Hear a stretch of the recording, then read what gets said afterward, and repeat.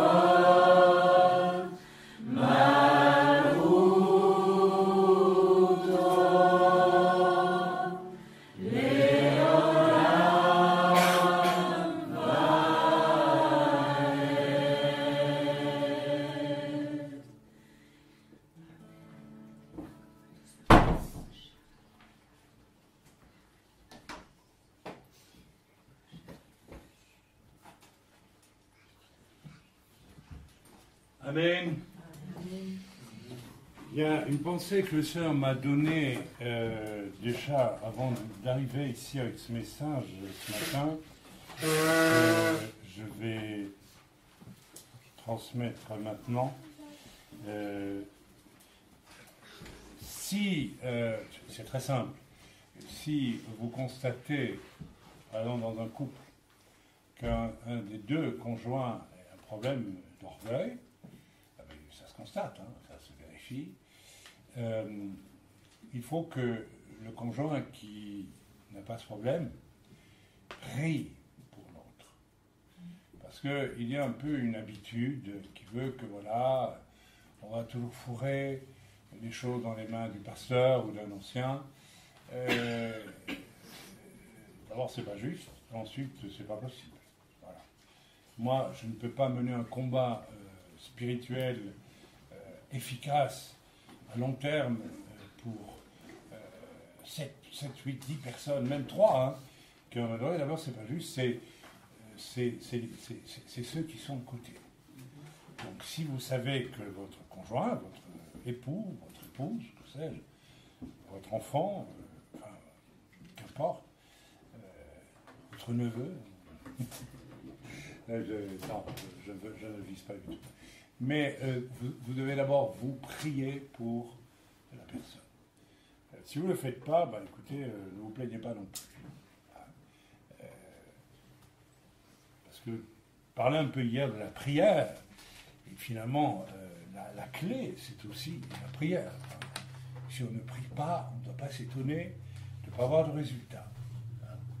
Je ne vais pas vous donner d'exemple, n'est-ce pas mais je, voudrais euh, vous, signaler quand même que la vie de prière est une chose fondamentale. Si vous ne priez pas, si vous ne vous donnez pas chaque jour un temps de prière, alors euh, si vous travaillez, ben, c'est très bien.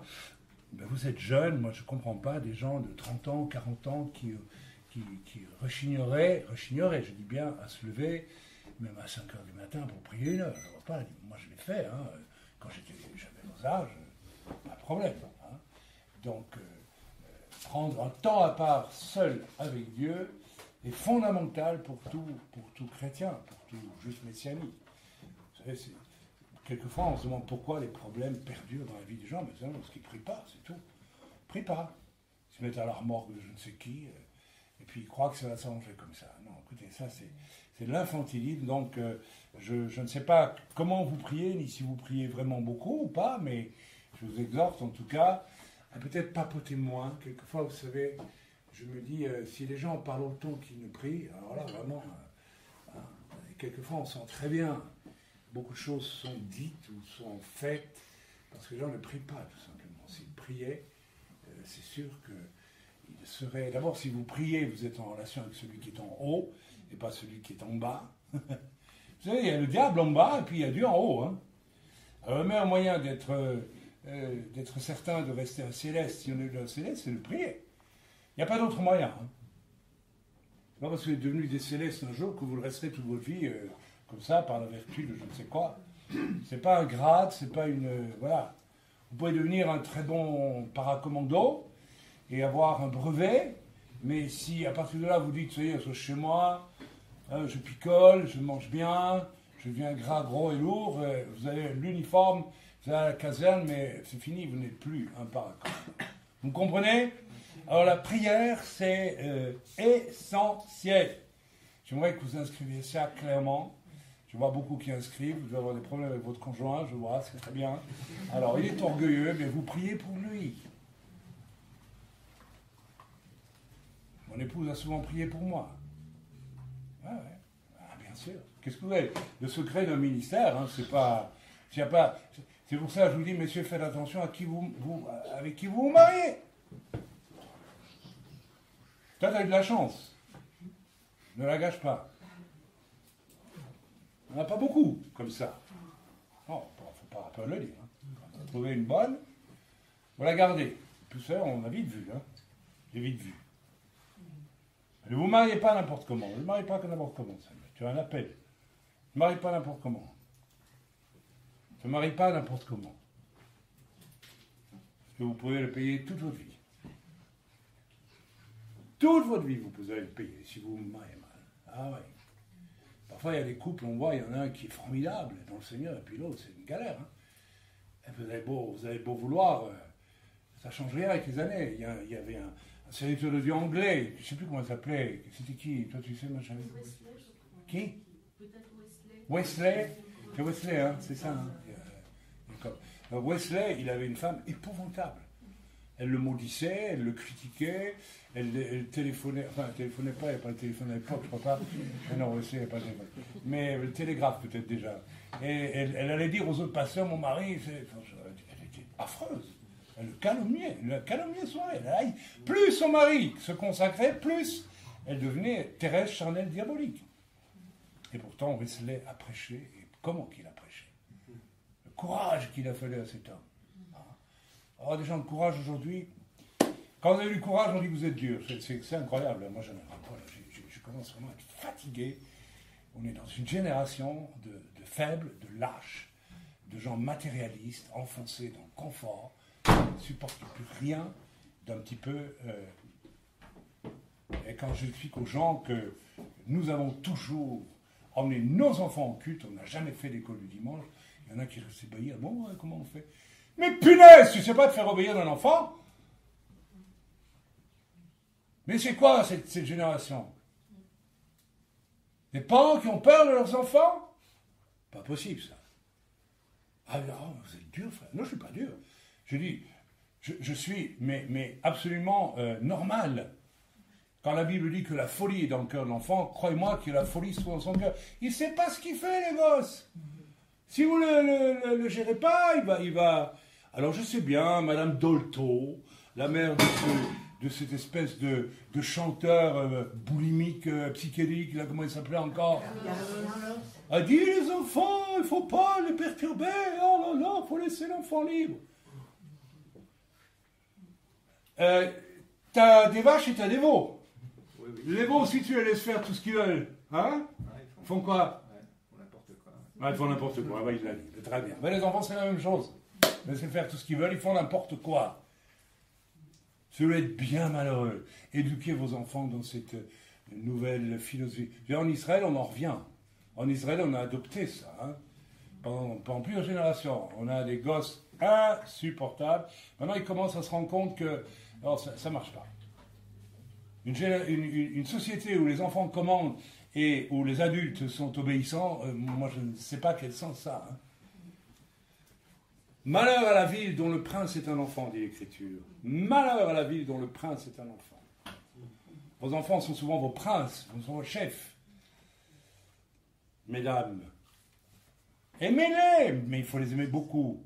Mais soyez intelligents, s'il vous plaît. Soyez pas stupides. Soyons pas aveugles. Amen. Et n'ayons pas peur d'appeler un chat un chat. Priez que Dieu lève des prophètes qui disent des choses nettes et dures. Les deux, les deux témoins de l'Apocalypse, ils viennent comment, vous croyez? Ils font descendre le feu du ciel sur les gens qui viennent discuter. Ils prêchent l'évangile éternel et ceux qui ne sont pas d'accord, eh ben, il y a du feu qui sort de leur bouche, les gens sont tués. C'est dans l'Apocalypse. Alors ils sont durs, ceux-là? Allez, vous irez lui leur dire arrêtez de blasphémer contre Dieu. Arrêtez de vous heurter contre le Seigneur. C'est vous qui êtes charnel, terrestre et diabolique.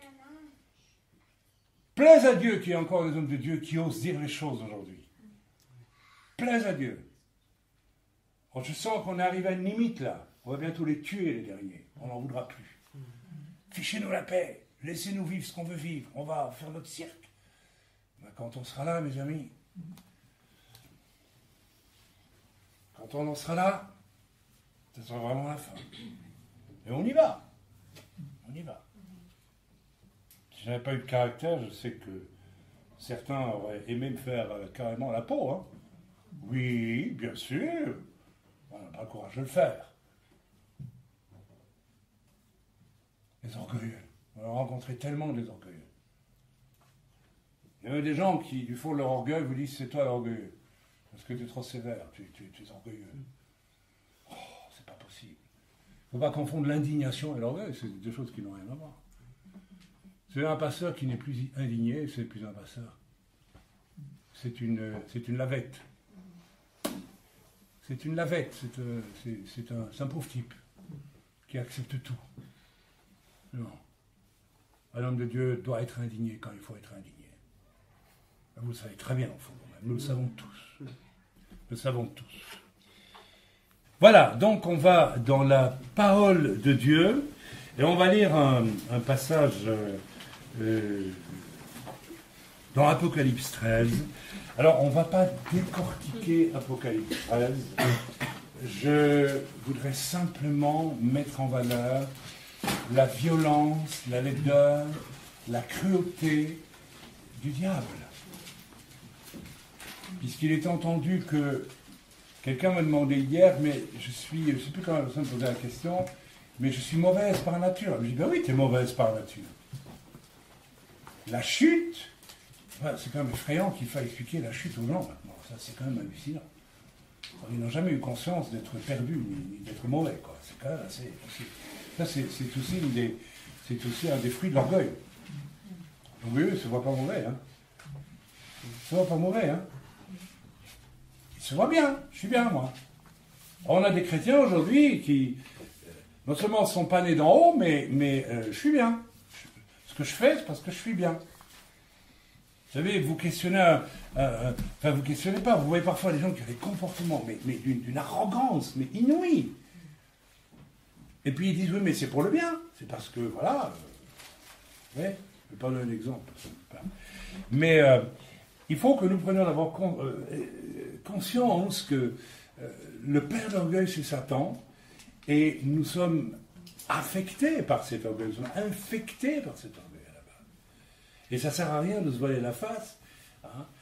au contraire, plus tu regardes, quand j'étais jeune, j'avais appris une chose, quand je me faisais mal, au lieu de dire ouïe, je regardais la plaie et j'en rajoutais un petit peu. Oui, votre douleur diminue très fort. Vous avez remarqué ça? Si, faites-le. Si, si. C'est un principe. Regardez en face le, mal et il, est déjà quelque part maîtrisé. Oui, je vous assure. Quand vous roulez en voiture et qu'il y a quelque chose qui arrive et qui va vous provoquer un accident, il y a deux solutions. Ou bien je réagis avec mon âme hein, euh, à la peur et euh, bam, bam, bam, tralala, tout part dans, dans, tous les sens. Ou bien vous adoptez ce réflexe extraordinaire. D'abord, en une, un quart de seconde, je ne cède pas à la peur. Je ne cède pas à l'émotion. Si vous êtes dominé par vos émotions, vous êtes fichu en toutes circonstances. Les émotions, ça vient de l'âme. L'âme, c'est charnel, terrestre et Pourriez le dire un peu plus haut, s'il vous plaît Merci. Encore une fois, c'est charnel, terrestre et diabolique. C'est-à-dire que si vous foncez avec votre âme, le mensonge du diable va toujours prendre le dessus. L'accident arrive. Qu'est-ce que le diable veut Que vous vous tuiez. Moi, il y a longtemps que j'ai compris en bagnole, la première chose que je fais toujours, mon âme, tu te calmes, tu bouges pas. Une seconde. Et là, dans un calme absolu, le bon réflexe. Je fais ci, je fais ça, je vous assure. C'est une décision à prendre. Décidez une fois pour toutes de ne plus être dépendant de vos âmes, spécialement les sœurs. Et pas mal d'hommes aussi. Alors l'âme, je le répète, on a lu le livre L'âme et l'esprit de Penn Lewis, on l'a tous lu, mais, mais voilà, on l'a lu. C'est pas, ça n'a pas été mâché, mâchouillé, tiens, ah, là, là, là, là, ça me concerne, là, ça me concerne, là, je fais plus, attention, etc. Donc vous allez relire ça, s'il vous plaît. L'âme, c'est vos émotions, vos sentiments. Mon bébé, je l'aime. Oui, mais tu as un petit démon dans les, bras, tu ne le sais pas. Hein ça vous choque ce que je dis ben, C'est la vérité. Vous croyez que la maman de Hitler n'a pas aimé son bébé Elle l'a aimé, son bébé. Si elle savait ce qu'elle a percé dans ses bras. Vous croyez que la maman de Staline n'a pas aimé son. Comment il s'appelait déjà euh, Georges Comment il s'appelait? Joseph, son, son, son Joe. Joe, mon bébé. Hein? Si elle savait qu'elle avait dans les bras un monstre. Enfin, un homme qui deviendra un monstre. Vous savez qu'il était séminariste. Hein? Ah oui, il a créé en Dieu, il a été au séminaire. Joe. Le grand Joe qui a 60, 50 millions de morts sur les bras, c'est ça 20, 20 millions? Oui. Si vous écoutez vos sentiments, vous allez dire, mais alors on vit dans un monde où il n'y a pas de cœur, frère, mais vous n'avez rien compris. Mais bien sûr qu'il y a du cœur. L'amour du Seigneur, ça n'a rien à voir avec vos sentiments. Alors, l'âme, c'est aussi vos, idées, vos pensées. Il y en a qui s'imaginent qu'en ajoutant connaissance à connaissance, ils sont quelqu'un. Ça, c'est encore de l'orgueil. Il y a des gens comme ça. On les reconnaît tout de suite. C'est pour ça que j'ai peur de faire le question-réponse en février. Parce qu'il y en a qui viendront avec des questions avec humilité. Il y en a qui viendront avec des questions. Bon. Euh, Est-ce que. Ah, il y a pire que ça. Il y a l'hyper orgueilleux qui dit Mais moi, je vais mettre le pasteur dedans. Je vais poser la question. Comme ça, tout le monde dira Je suis quelqu'un. Et ils sont fiers. Hein. Ils ne sont même pas gênés de ça. Et ça vous fait sourire. Oui, vous souriez de ça. Mais c'est ignoble, vous savez. En soi, c'est ignoble. Il faudrait qu'on apprenne à, à mettre les choses à leur place. C'est un comportement ignoble, non pas pour le pasteur, mais pour la personne, c'est ignoble. Se mettre en valeur. Vous voyez, l'âme. Ok? Donc, euh, on va lire maintenant dans, dans Apocalypse 13. Puis je vis monter de la mer. La mer, c'est une image des peuples. D'accord? Une bête. Il n'est pas dit un doux animal, une bête. Ça dit tout, une bête. Le diable est une bête. Alors c'est l'antéchrist, d'accord, je sais bien, c'est pas. Mais le système de l'antéchrist est, profondément diabolique, c'est une bête, c'est bestial. Vous voulez avoir une idée de ce que c'est que la bête, une bête? Vous allez à Alep, n'est-ce pas, ces derniers jours, et vous allez, vous allez dans Alep et vous regardez ce qui s'est passé à Alep. Vous avez une petite idée de ce que c'est qu'une bête. Vous allez à Gaza lorsque, n'est-ce pas, on attrape un, un gars on est jaloux de lui, on l'accuse de collaborer avec Israël, on l'attache par les pieds à une moto, on le traîne toute la journée jusqu'à ce qu'il meure dans les rues de Gaza. C'est ça la bête, c'est ça une bête. Et ce, que, euh, ce qui était en train de venir sur la terre, c'est ça? On dire, mais ça ne me concerne pas. Oui, ça te concerne. C'est terrestre, charnel, diabolique. Alors il y a du diabolique euh, évident, et puis il y a le diabolique euh, qui paraît moins évident. En d'autres mots, il y a le diabolique du monde. On dit, mais ça, c'est le monde, c'est les païens qui font ça. Mais l'Église est pleine de gens qui sont comme ça. Qu'est-ce qui est le pire? Tuer un gars avec un, revolver ou les gorger comme le fait Daesh, ou bien tuer à petit feu la réputation, n'est-ce pas, d'un serviteur de Dieu pendant 10, 15, 20 ans? Qu'est-ce qui est le pire? Qu'est-ce qui est le pire, à votre avis? Être tué en, 15 secondes ou être tué à petit feu pendant 20 ans? Qu'est-ce que vous préférez, vous? Franchement, allez, qu'est-ce que vous préféreriez, vous? Non, posons, osons poser la question. Qu'est-ce que vous préféreriez? Vous pouvez les 15 secondes, moi aussi. Ah oui. Donc vous voyez qu'il n'y a pas besoin d'être du monde pour être plus cruel que le monde. Parce que quand le diable peut travailler dans l'Église, alors là, ça va être un raffinement. La bestialité raffinée. Vous voyez ce que je veux dire? Et il faut de l'orgueil pour ça. Et nous avons des gens qui ne sont pas d'en haut dans l'Église, qui sont dans le bas. Et sur ces bêtes, et sur ces cornes dit diadème, et sur ces bêtes des noms de blasphème. La bête que je vis était semblable à un léopard, ses pieds étaient comme ceux d'un ours, et sa gueule comme une gueule de lion. Le dragon lui donna sa puissance, son trône et une grande autorité. Ah oui, c'est pas un agneau doux et pacifique, là. Hein. Ça doit déjà nous suffire pour nous rendre compte qu'on va vraiment vers quelque chose de. D'accord? Et je vis l'une de ses têtes comme blessée à mort, mais sa blessure mortelle fut guérie. Remplie d'admiration, la terre entière suivit la bête. Suivit la bête. Et ils adorèrent le dragon parce qu'il avait donné l'autorité. Le dragon, c'est une image de Satan. C'est le diable. Parce qu'il avait donné l'autorité à la bête. Vous voyez, les foules vont applaudir, n'est-ce pas, celui à qui le diable donne autorité. Là, on est dans un schéma d'orgueil absolu et de séduction par l'orgueil. Vous êtes d'accord ou pas Qu'est-ce que Qu'est-ce qui a pris?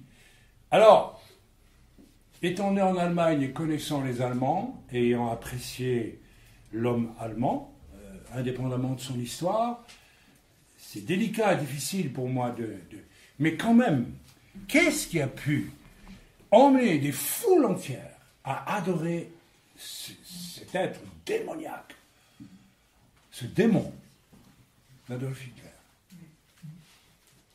C'est exactement, ils ont fait exactement ce qui est décrit ici. Le dragon lui donna sa puissance, son trône. Le diable a donné à Adolf Hitler. Euh, ne dit pas toujours que c'est Dieu qui établit les. Non, c'est pas vrai. Je ne crois pas du tout. Attention, parce que là, il y a une fausse doctrine qui circule aujourd'hui. C'est Dieu qui établit les, les chefs d'État. C'est pas vrai. C'est, qui est le, qui est le maître du, de, la terre aujourd'hui? C'est avec la permission de Dieu. Dieu reste aux manettes, si vous voulez. Mais ça, vous croyez que c'est vraiment Dieu qui a, voulu, qui a Adolf Hitler en Allemagne? Non. C'est pas possible. Vous voyez que c'est Dieu qui a voulu Staline en, Russie, en ex-URSS Non. Non. Le diable mais le peuple aurait pu dire non. Le problème, c'est qu'en Allemagne, qu'est-ce qu'ils ont fait? Fait. Le dragon lui donna sa puissance, son trône et une grande autorité. Et euh, ils adorèrent le dragon parce qu'il avait donné l'autorité à la bête. Ils adorèrent la bête en disant Qui est semblable à la bête et qui peut combattre contre elle? J'aime autant entendre des foules de nazis disant Qui peut est semblable à, à notre Messie, à Adolf Hitler? Ah ben oui, euh, faut pas chercher midi à 14 heures. Qu'est-ce qui a fait que, que des foules entières, mais rappelez-vous, les, enfin, on levait ce bras en, hurlant avec les yeux complètement éclatés, oui, nous te jurons fidélité. C'est l'orgueil, mes amis. L'orgueil peut emmener tout un peuple. Qu'est-ce qui a fait que l'armée française a été jusqu'à Moscou. Quand il voyait Napoléon. Oh, Vive l'empereur C'était des bêtes. Ils étaient fiers de leur orgueil. Mais c'était des bêtes qui s'ignoraient. Vous croyez qu'il ne faut pas être une bête pour, euh, massacrer, pour, faire des, enfin, mettre un pays à, à, à sang? Complètement. Mais, mais les hommes les ont adorés. Nous adorons la puissance, nous adorons le pouvoir, nous, courons derrière les. Il suffit qu'un un serviteur de Dieu ait une estrade un peu large et qu'il y ait un, truc ou deux et qui, qui mettent les. Vous voyez, ce que je veux dire, les à fond et tout le monde court. Les chrétiens cherchent la puissance, cherchent le, le ministère qui va. Mais, mais, mais. Et c'est pour ça qu'Internet vous a été donné. Alors, Internet, c'est un bon outil. Mais euh, voilà. Et on s'en sert comment? Combien de millions de chrétiens, de millions, de millions, sont tous les jours sur Internet et ne prient jamais? Ah, j'ai trouvé, ça c'est super. Ah, celui-là, non, on a dit qu'il avait fait une fausse prophétie, c'est fini, il est coulé, terminé, on ne veut plus le voir. Vous avez intérêt, si vous êtes dans le monde des vedettes, à ne pas commettre la moindre gaffe, hein, parce que là, on vous descend tout de suite. Vous n'avez pas droit à l'erreur. Ce sont des gens qui ne prient pas, des gens qui euh, courent partout, des gens qui cherchent, au fond, une idole. Ah oui, une idole, une idole chrétienne. Méfiez-vous de ceux qui vous élèvent. hein. Ces gens-là ne prient pas. Celui qui vous élève, il ne, prie pas. Il n'aurait pas cette attitude. Parce que demain, ils vont vous couler. C'est ça, les foules. Ça fait penser au jeu du cirque avec des gladiateurs. Aujourd'hui, c'est Ursus, le géant de Russie, qui est le dieu de sport, parce qu'il tue tout le monde. Et tout le monde dit Ah, Ursus, Ursus, Ursus. Et puis il y a un autre qui arrive, il le tue. Ah, ben c'est c'est fini, Ursus. C'est, euh, je sais pas moi, Publius, Publius, le grec, enfin, je sais pas. Et, et tout ça pourquoi? Pour du spectacle. Pourquoi Donc nous devons vraiment faire attention parce que dans ce chapitre 13 Apocalypse, que je ne vais pas décortiquer, je pourrais le faire, commencer à vous dire euh, à quoi ça correspond, mais ce n'est pas mon but. J'aimerais cet après-midi, aujourd'hui, pardon, ce matin, que vous preniez conscience de la laideur de, tout, de tout ce qui est transformé là-dedans. Il y a des générations de personnes qui scrutent tout ça et ils ne se rendent pas compte de la première chose, il faut se rendre compte de l'inouïe violence, de l'inouïe orgueil, de la, de la... Rien que dans ces trois versets, il y a toute l'histoire de l'humanité qui est, rassemblée. Il y a eu combien de- d'hommes qu'on a pris pour des dieux? Les Romains disaient que les empereurs étaient des dieux, et les empereurs savaient très bien qu'ils n'étaient pas des dieux. Mais il fallait absolument qu'ils soient des dieux. Qu'est-ce qui se passe quand Napoléon envoie, je crois que c'est général Berthier, je ne sais plus, euh, n'est-ce pas, euh, enfermer le pape à Rome? Alors on peut dire, ah c'est formidable, il a fait tomber euh, le Vatican, etc. Mais, ok, oui, c'est bien, c'est bien, mais, est-ce qu'il fallait pas un orgueil formidable pour arriver à le faire aussi? Vous comprenez? Est-ce que, est-ce que c'est Christ qui inspire ces choses? Ou c'est l'orgueil? Napoléon lui-même, lui-même avait lu la Bible et il a dit des choses formidables sur la Bible. Mais son orgueil n'a pas empêché de faire ce qu'il a fait et d'être ce qu'il a, été. Napoléon, on lui a demandé un jour, on a demandé un jour à Napoléon, quel a été le plus grand général dans l'histoire de l'humanité qui vous a impressionné? Il a dit Jésus-Christ. Ah, les gens lui disent, mais pourquoi? Parce que moi, j'ai des bataillons à ma disposition qui sont prêts à mourir jour et nuit. Et j'ai tout perdu quand même, au final. Mais lui, avec 12 hommes, il a vaincu le monde. Il a conquis le monde. Il avait tout compris, Napoléon. Ça l'a empêché d'être quand même un homme orgueilleux. Donc vous voyez que le, danger est terriblement sérieux. Nous devons prendre ça avec beaucoup de sérieux. J'insiste là-dessus. Vous savez, moi, ne, croyez pas que je parle en l'air en disant ça. Je commence à devenir un homme un peu, pas un vieil homme, mais quand même, j'ai le recul. J'ai dû faire très attention à mon orgueil. L'orgueil se tapit dans votre vie et il veut reprendre le dessus à tout moment, croyez-moi. J'ai passé des tests dans mon ministère. Quand ici en Suisse, à La Chaux-de-Fonds, il y a plus de 20 ans, je vivais des réunions formidables avec une onction que je n'oserais même pas décrire, parce que dire c'est pas de Dieu, tellement c'était fort. Ma femme, elle s'en souvient. Et là, Dieu me dit, que vas-tu faire? J'ai tout compris en un instant, hein, c'est pas compliqué. Vous savez, on comprend très bien. hein. Les gens, il y a des gens, com- ils, comprennent jamais, mais qu'on comprend très très bien. Quand Dieu m'a dit ça, j'ai très bien compris. Il y avait deux chemins. Soit tu restes là, et puis je t'ai donné les dons de miracles, de guérison et tout, les gens vont venir de partout. En plus, il y aura plein d'argent. Ah ben oui, ah ben oui, c'est c'est comme ça. hein. Tu peux le faire. Tu vas devenir une vedette.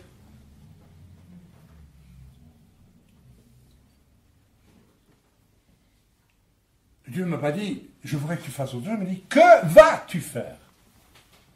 Qu'est-ce que toi, tu choisis? Il m'a pas dit, je voudrais que tu fasses ça ou ça, mais qu'est-ce que toi, je devais choisir. J'ai dit, Seigneur, j'ai compris. J'ai le don de guérison, le don de miracle, j'ai des dons spirituels. Tu me dis même tout ça en une seconde. hein, en une seconde, vous savez, l'esprit, quand on a l'esprit, l'esprit est, est intelligent, et, on comprend. J'ai compris que Dieu me disait, je t'ai donné ces dons, je ne vais pas te les reprendre puisque c'est donné. Mais vous voyez, on en revient toujours à l'usage qu'on fait des choses. Et je peux utiliser les dons au service du Seigneur quand il le demande. Mais figurez-vous que je peux aussi décider de les utiliser pour moi. C'est exactement ce qui est arrivé à M. Lucifer un jour. Vous voulez connaître où votre orgueil prend sa source? C'est là, mes amis. C'est là. C'est vous ou c'est Dieu? Un jour, il a vu qu'il était beau. Il était le plus beau des anges. Sa beauté lui était donnée comme un cadeau.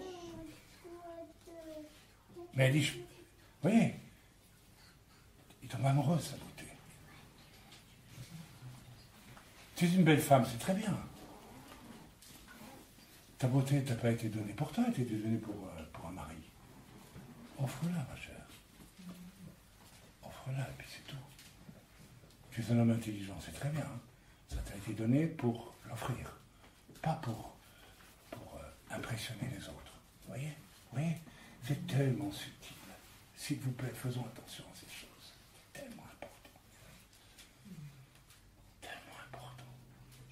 Tellement important. Ouf Ce passage d'Apocalypse 13 nous montre qu'il y a là une lutte phénoménale dans les temps de la fin entre l'émergence de l'orgueil du diable qui, qui ne peut pas revenir en arrière, parce qu'il s'est choisi lui-même à la place de Dieu. Vous voyez, c'est ça son problème.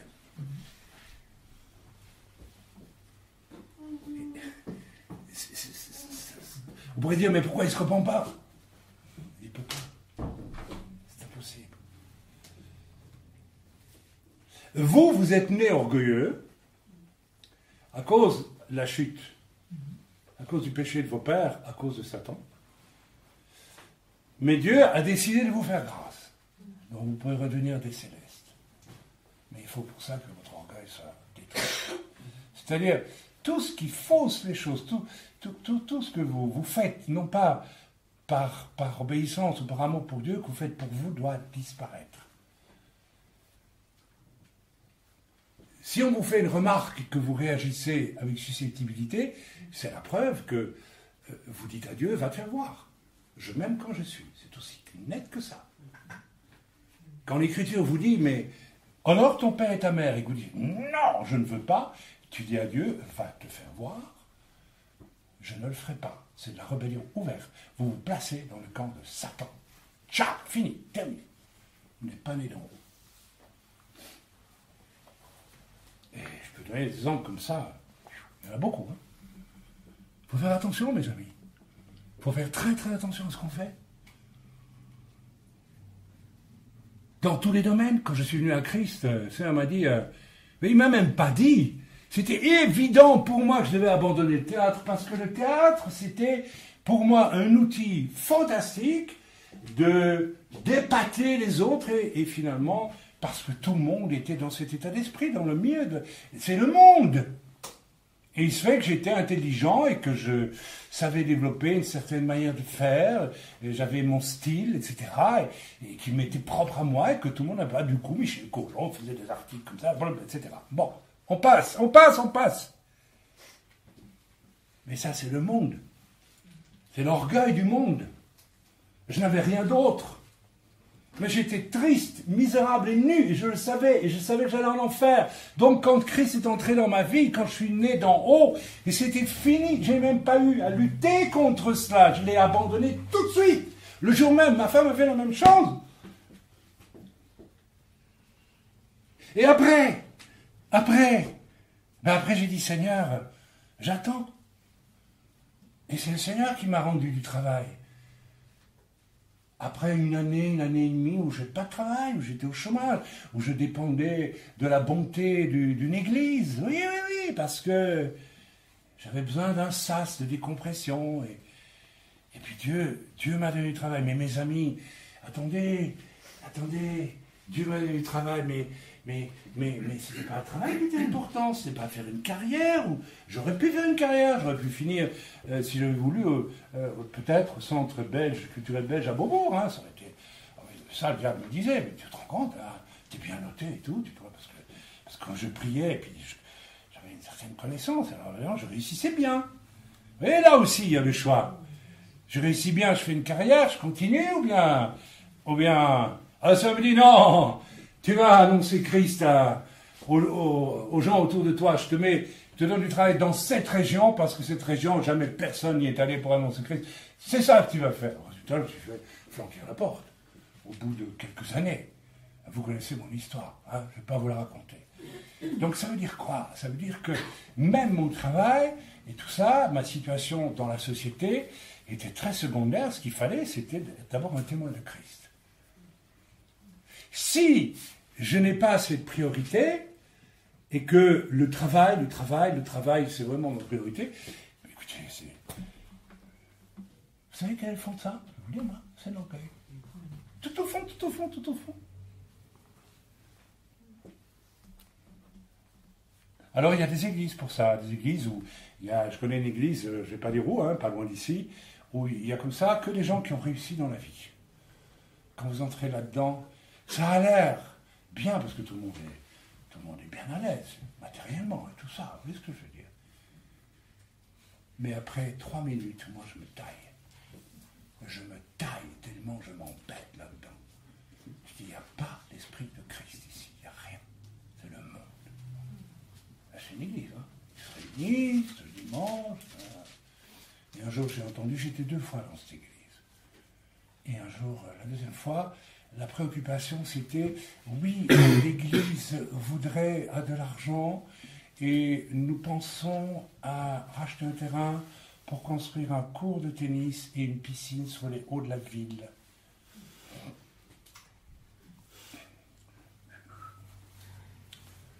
Ah oui, vous voyez?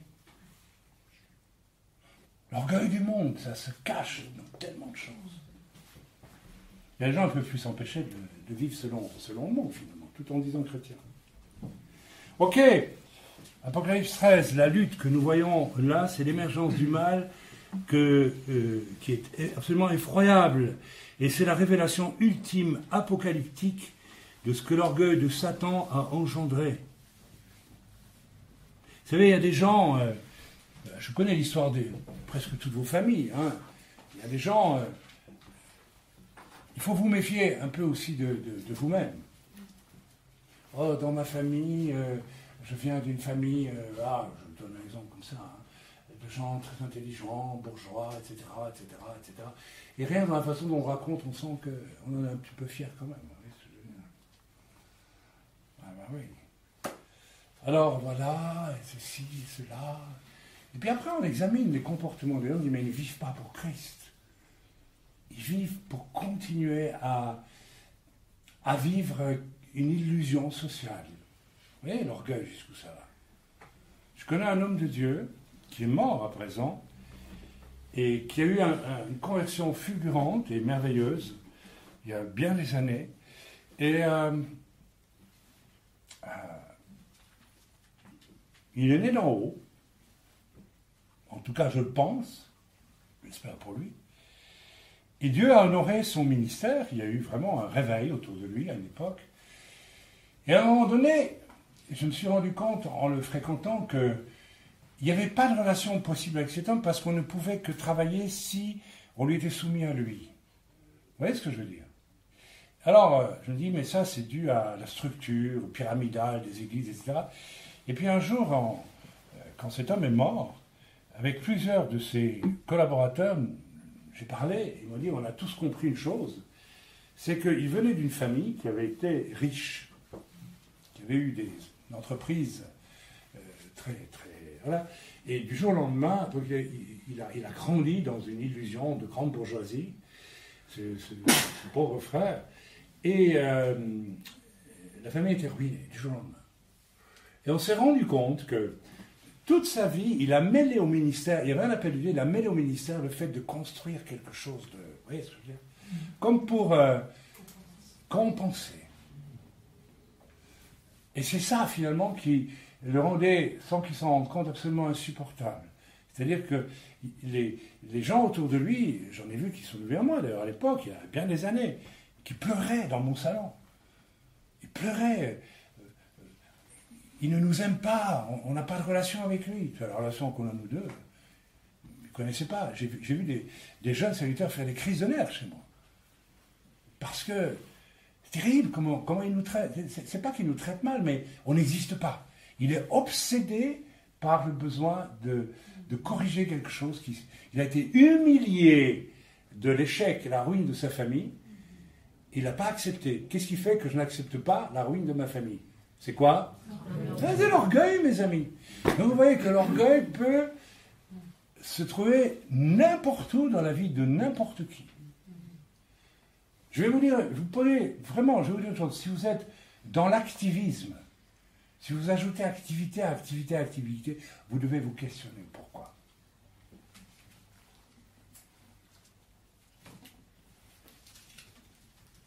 Ils n'entreront pas dans mon Shabbat, dit l'Écriture parce qu'ils sont, parce qu'ils sont parce qu'ils ils veulent créer une réalité qui, n'est pas celle que moi je veux créer. rien à voir. Donc c'est très très important. Nous devons nous questionner sur nos motivations.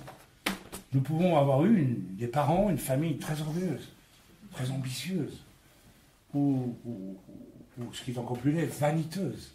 Il y a des gens qu'on rencontre, et puis c'est c'est effrayant de voir parfois la vanité. Vous voyez ce que je par vanité? Le vaniteux, c'est celui qui croit toujours qu'il est d'une autre extraction que les autres. Vous n'avez jamais ressenti ça dans votre cœur, une fois de temps en temps? Ah, Même toi, Chantal? Tu te sentais d'une autre extraction. Vous voyez que c'est un mal, mais c'est bien d'avouer. A... C'est quelque chose qu'il faut absolument, quand ça monte dans votre cœur, attention. Il faut prier là. Demander au Seigneur, Seigneur, oh là là, délivre-moi de ça. Il n'y a rien de plus ridicule que la vanité. Il faut revoir Molière, hein. les précieuses ridicules, les femmes savantes, tout ça. Il avait compris beaucoup de choses. Hein. Vous savez, quand je jouais ça devant Louis XIV, euh, il était en train de dire à Louis XIV Quel grand prétentieux tu es, tu ne te rends pas compte. Euh, je ne sais pas s'il a compris la leçon. Hein. Amen, la fontaine aussi, la bœuf qui, la grenouille qui voulait se faire comme la bœuf.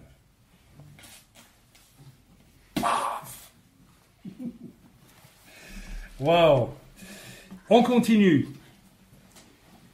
Si je n'ai pas assez, avec ce que je viens de lire, chapitre 13, début de chapitre 13 d'Apocalypse, pour me rendre compte que j'ai tout intérêt à prendre conscience de, ce poison d'orgueil qui est entré dans ma vie, qui est dans ma vie de toute façon, eh bien, je ne sais pas ce qu'il va me falloir. Lisons ensemble, verset 1. Puis je lui montais de la, de la mer, relisons plutôt, une bête qui avait dix cornes et sept têtes, et sur ses cornes dix diadèmes, et sur ses têtes des noms de blasphème. Alors, euh, le blasphème, c'est l'image d'une arrogance sans frein. Quand tu, euh, tu vis, tu laisses l'orgueil te dominer et que tu réagis avec euh, arrogance, hein, tu dois te rendre compte que tu t'opposes à Dieu et que c'est comme du blasphème. Quand tu traverses une situation où, ton, ta susceptibilité est touchée et que tu réagis mal, et que tu laisses cette réaction prendre le dessus dans ta vie, tu ouvres la porte à Satan. Et moi, je l'ai vu récemment, j'ai vu, des démons rentrer carrément. Donc, tu dois considérer que c'est comme si tu, tu blasphèmes en réalité. S'opposer à Dieu au-delà d'un certain point, ça devient du blasphème. C'est du blasphème. Alors là, attention, parce que Dieu est patient, mais c'est du blasphème. Amen. Lorsque la parole de Dieu te convainc de quelque chose et que tu dis non, je ne le pratiquerai pas, tu résistes à Dieu en face, tu blasphèmes. Même si tu trouves toutes sortes d'excuses. Oui, mais j'y arrive pas. On s'en fiche que tu n'y arrives pas. On s'en fiche complètement. Quand Dieu m'a dit, qu'est-ce qu'il est écrit dans ma parole avec mon cher papa? Oui, c'est mon cher père aujourd'hui, je vous assure.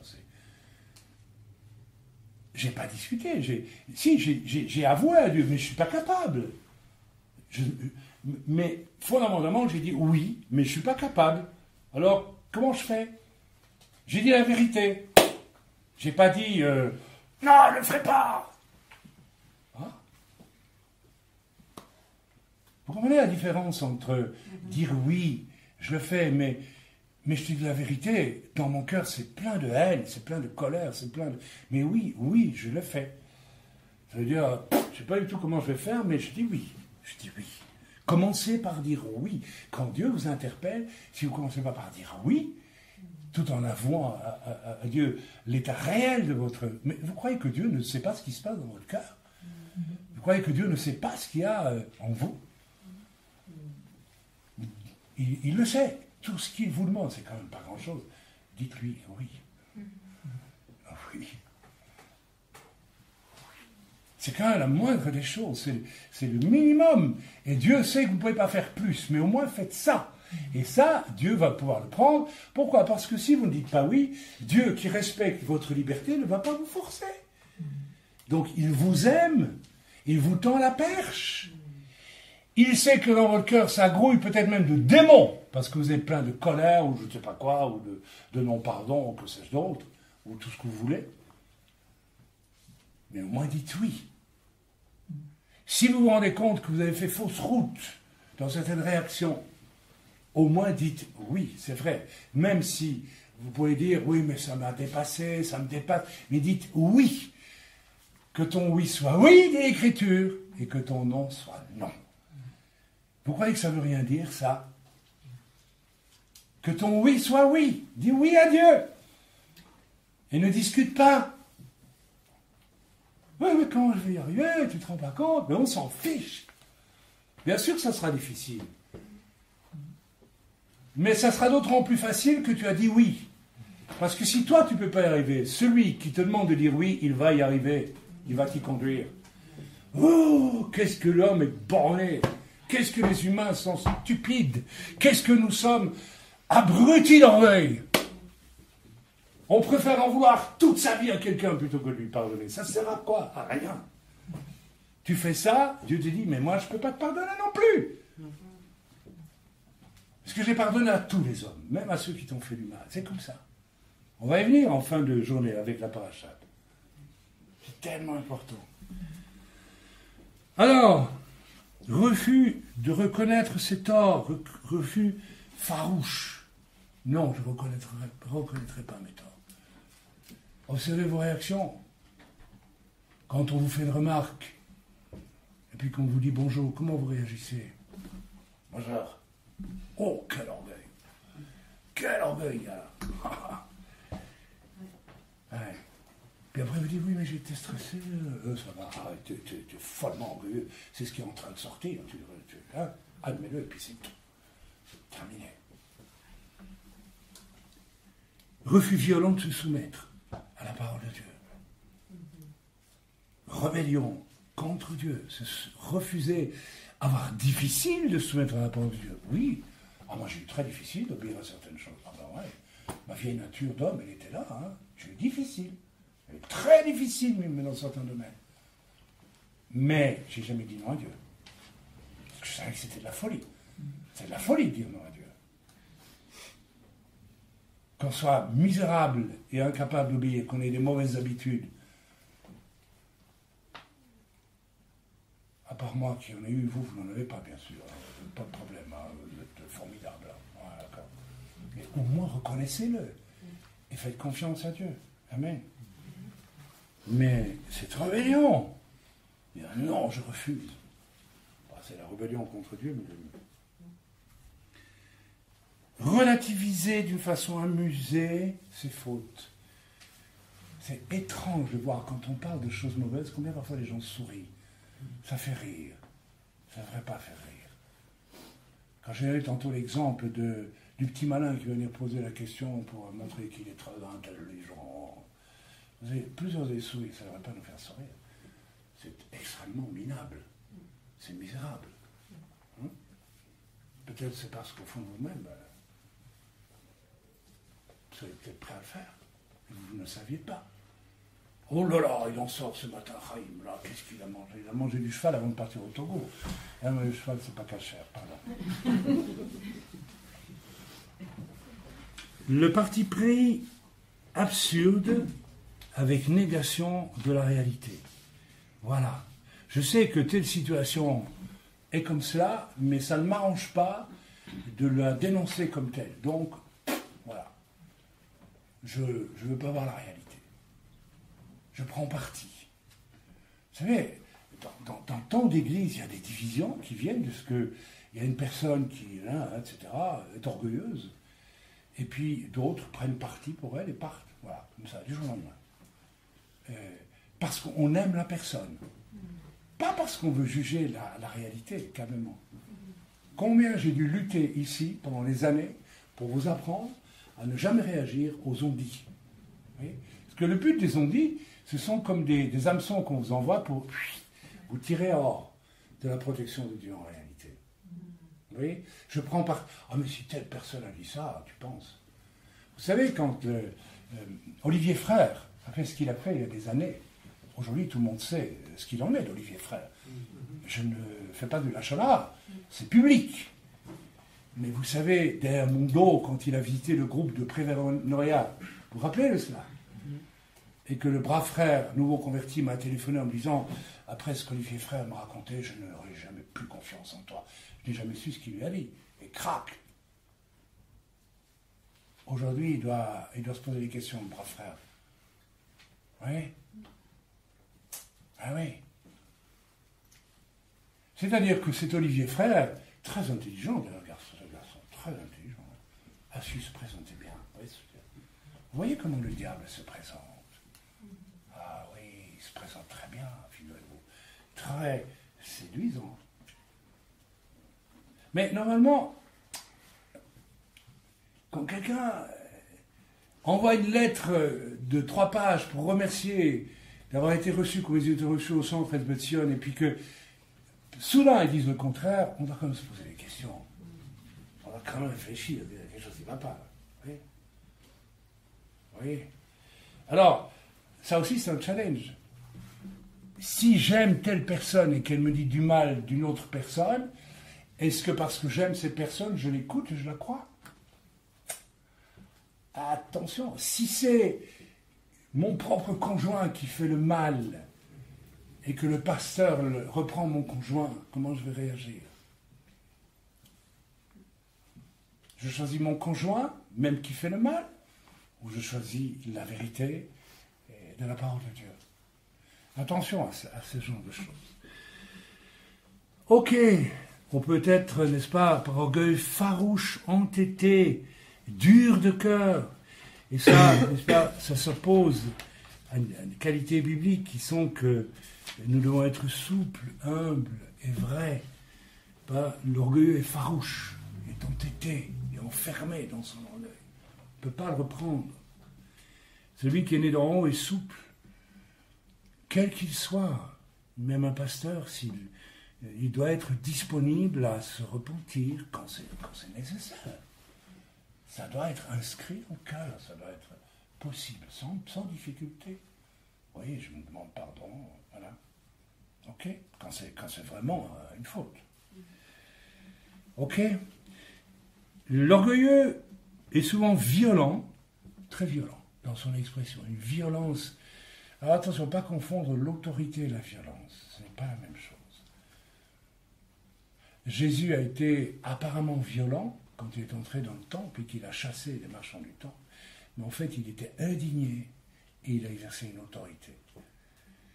Mais ça n'a rien à voir avec la violence des pharisiens lorsque Étienne leur annonce, n'est-ce pas, de façon admirable l'écriture, il, il devient une foudrage et il le tue.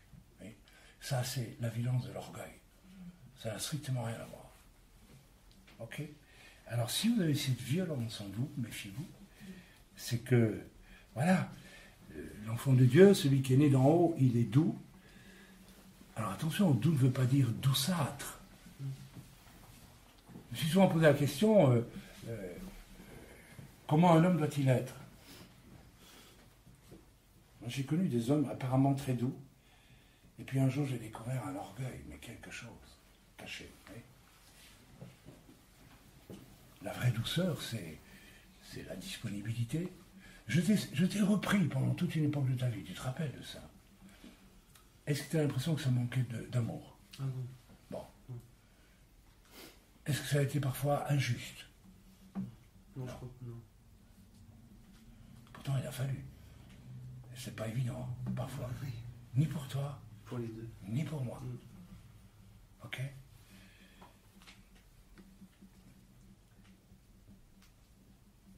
Ok.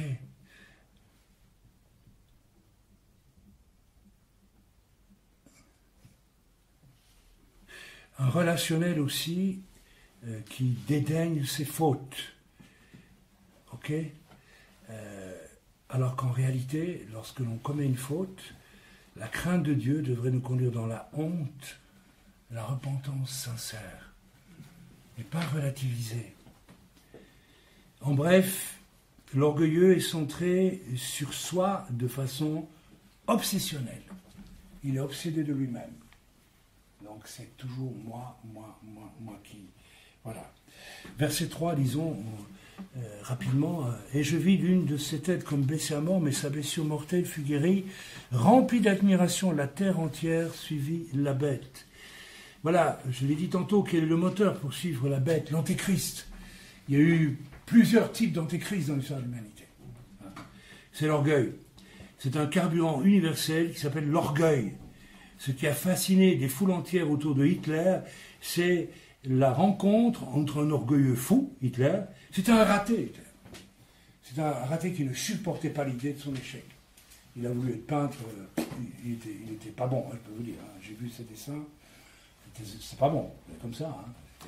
C'était vraiment tout ce qu'il fallait pas faire truc scolaire, euh, méticuleux, euh, vraiment l'allemand, l'allemand médiocre là, il n'y a rien là-dedans. Il a, pas de. Euh, en art, ce qui compte, c'est le style, c'est pas la représentation. C'est le style. Il y a le style, ça, voilà. Il n'y avait rien, donc il a été éjecté de l'Académie de Vienne. enfin, pas éjecté, on dit, on ne peut pas entrer, monsieur, vous n'avez rien à dire, on peut pas vous. Donc il n'a il, a jamais supporté, et, du coup, c'était la crise, et puis euh, on l'a embauché pour être un, espion de la police pour aller surveiller les, nazis, hein, le, début des, du NSA-DAP. Et puis finalement, incroyable ce qui est arrivé. Il était là pour surveiller, pour faire des rapports à la police. Et puis finalement, il s'est dit, mais c'est une bande de rebelles ici, mais on aurait peut-être arrivé quelque chose avec eux. Il s'est mis avec eux. Ouais. Il a trouvé un nid pour son orgueil. Et de là, l'œuf a pondu le monstre. Il y avait des millions d'Allemands qui ont fait le geste que je ne vais pas faire, mais vous le connaissez, cela. Halluciné. L'orgueil, l'orgueil d'un peuple. Terrible qu'un peuple tombe dans une telle. Euh, un orgueil hypnotique à ce point-là, à ce point-là déployé. Ok? Mais vous savez, euh, ça c'est proche dans notre histoire, mais l'histoire des hommes est pleine de choses comme celle-là. Les empereurs romains, Napoléon, euh, tout, Staline, évidemment, euh, et puis Genghis Khan, et puis vous savez que Genghis Khan ne quittait pas une ville conquise sans qu'il y ait une pyramide haute comme la maison de Crâne. Vous savez ça Oui. C'était pour. Ah ben oui, ça vous fait. Eh ben c'est très bien de toute façon. Eh. voilà ce que l'âme humaine est capable de faire. Et ça, c'est pour moi. Parce que s'il ne le faisait pas, il se trouvait un autre guerrier pour le tuer, prendre sa place. Mais en faisant ça, il montrait qu'il était terrible, ils en avaient peur. Vous voyez, l'orgueil. Ça, c'est Satan. Hein. Le monde démoniaque fonctionne comme ça aussi. Les démons doivent toujours en faire plus, parce qu'autrement, euh, il y en a peut-être qui rêveraient de prendre la place du patron. Hein. Donc le patron, il punit. Donc le patron, il est, bien plus cruel que tous ces démons. Parce vraiment, il perd sa place de patron. Dans le mal, vous savez, il n'y a pas de pitié. Et l'orgueil en vous, vous commencez à comprendre ce qu'il peut générer comme, euh, comme, poison terrible. Vous voulez paraître malin, vous voulez paraître intelligent, ou bien vous voulez pas vous repentir, vous ne pouvez pas vous soumettre à la parole de Dieu, vous aimez faire des scandales, vous aimez euh, faire des scandales, oui. Vous faites des scandales. Il n'y a pas de scandale possible dans la maison de Dieu. Qu'il n'y ait pas des cris, des rumeurs, des choses comme cela dit l'Écriture. Il n'y a pas de place pour ça. C'est juste votre orgueil qui apparaît. Alors, qu'il apparaisse, c'est déjà dommage pour vous, mais il apparaît. Ayez au moins le courage de dire, Seigneur, oh oui, c'est moche. Il n'y a pas besoin de venir me le dire à moi. hein. Dites-le vous. Soyez honnête. Et ça se verra tout de suite. Et Dieu vous dira de peut-être le dire. Il n'y a pas plus grand qu'un homme qui se repent. Quand Samuel est venu ici, il y a un mois, je ne sais plus, il m'a dit devant tout le monde, Raïm, je te demande pardon parce que j'ai fait vraiment des bêtises, etc., etc., etc. Dieu lui demandait rien d'autre que ça.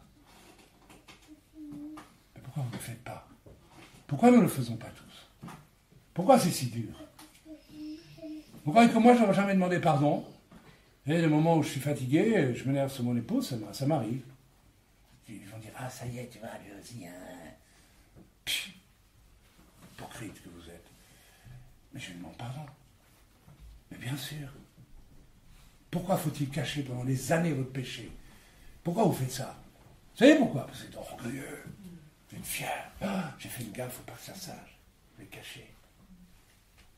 C'est comme. Qu'as-tu fait avec ton frère? Est-ce que je suis responsable de mon frère moi. Mais vous vous rendez compte, l'orgueil Ce que l'orgueil fait faire. C'est terrible, mes amis. Il faut faire attention, il faut, il, faut, il faut vous laisser radiographier par Dieu toute votre vie. Même quand vous êtes né d'en haut, il faut faire attention, je vous l'ai dit. Quand Dieu m'a dit, qu'est-ce que tu vas faire? C'était le test. J'ai dit, Seigneur, j'ai compris. Que veux-tu que je fasse? Il y a quatre petites vieilles dans le sud de la France qui, que tu les visites, va les visiter. J'ai laissé mon réveil, mon réveil, qui allait m'amener dans, une certaine gloire humaine, ici à Chaux-de-Fonds aussi. Ah ben oui. Et j'ai décidé d'aller là. Ce jour-là, j'ai. Ça m'est arrivé trois fois dans le ministère. Où Dieu m'a dit, maintenant qu'est-ce que tu vas faire? En fait, Dieu m'a évité le piège de la réussite trop voyante. Ouais, ouais. Où je serais devenu... Alléluia Praise the Lord Il y a la puissance de Dieu ici. Ah. Voilà, ouais. Surtout toi, oui. Vous avez Jésus qui fait ça, vous?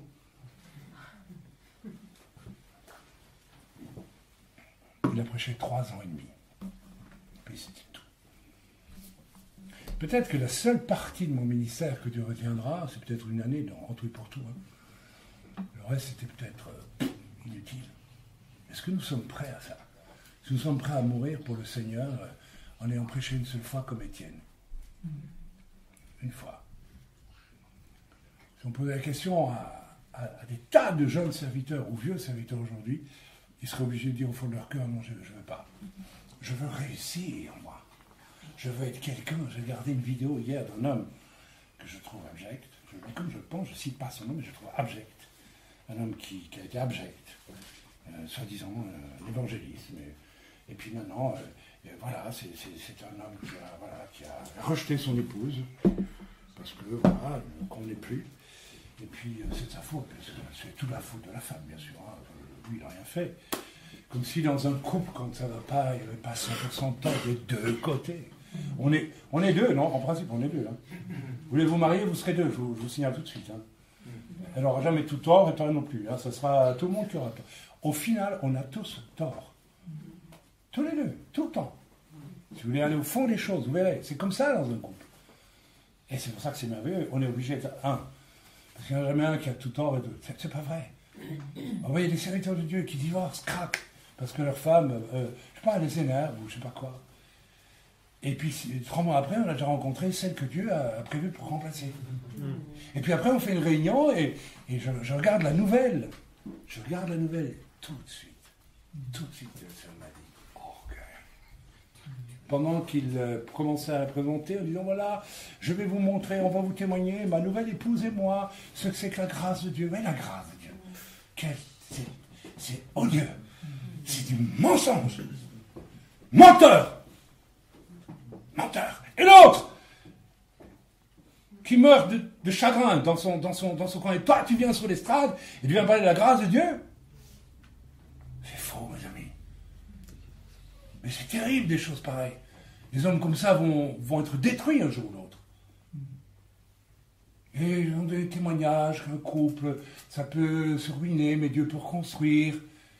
Et l'autre est à côté, elle est tellement embêtée en réalité qu'elle nettoie ses lunettes pendant une demi-heure, Et puis elle vient, Alléluia Et les femmes, elles savent faire le beau sourire, hein Et moi j'ai je dis ça, on arrête tout. Orgueil. De quel droit tu répudies quelqu'un parce que, parce que je sais pas, il est, il est, il soudain il te convient plus, elle t'a convenu pendant des années. De quel droit on fait ça? De, quel droit, de quel droit je, je condamne quelqu'un à disparaître de ma vie du jour au lendemain si, ne- la personne n'a pas commis l'adultère Je peux pas. J'ai pas le droit. Vous croyez que nos caractères, ma femme et moi, on, sait- on a des caractères? Alors, il y a des gens, ils ont de la chance, hein, et, ils s'accordent bien dans le caractère, ma femme et moi, mais oh là là, au départ, on a des tempéraments riches, mais absolument euh, différents.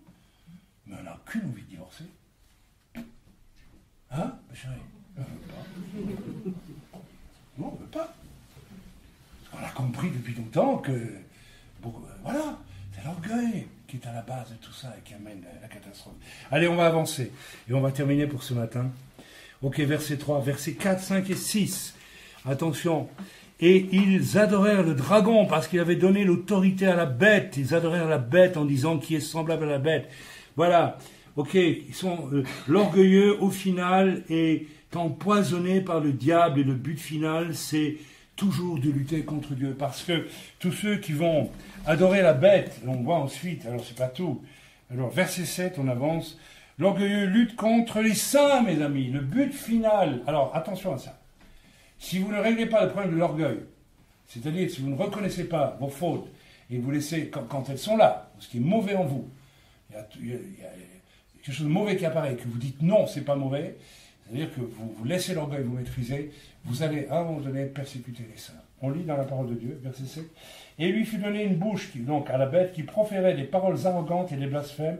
Il lui fut donné le pouvoir d'agir pendant 42 mois, et il ouvrit sa bouche pour proférer des blasphèmes contre Dieu. Pour blasphémer, je vous ai dit tantôt ce que c'est que blasphémer contre Dieu. Quand tu t'opposes à la parole de Dieu, tu dis non, je ne me soumettrai pas à la parole de Dieu, tu blasphèmes contre Dieu. Et pour blasphémer son nom, vous savez pourquoi les gens, euh, moi j'ai- jamais, jamais euh, dit le fameux nom de, vous savez, pourquoi les gens jurent? Je vais vous dire pourquoi. Il y a un orgueil terrible à la base de ça. Et ils en sont fiers, les hommes. Hein. J'ai remarqué en France, quand je vais en France, en Belgique aussi, quand, on- a une conversation, ben dis donc, euh, on va faire les choses comme ça, le... On est fiers en plus, hein. on est fiers, hein. on, est, fiers, on est des mecs, nous, on a dit non de... Ah oui Vous savez, l'orgueilleux, il est fier d'être orgueilleux. Ah oui, on est fier de ça, on est... on, sent, on exister, pauvre type, tu vas mourir un jour, tu vas voir ce qui va t'arriver.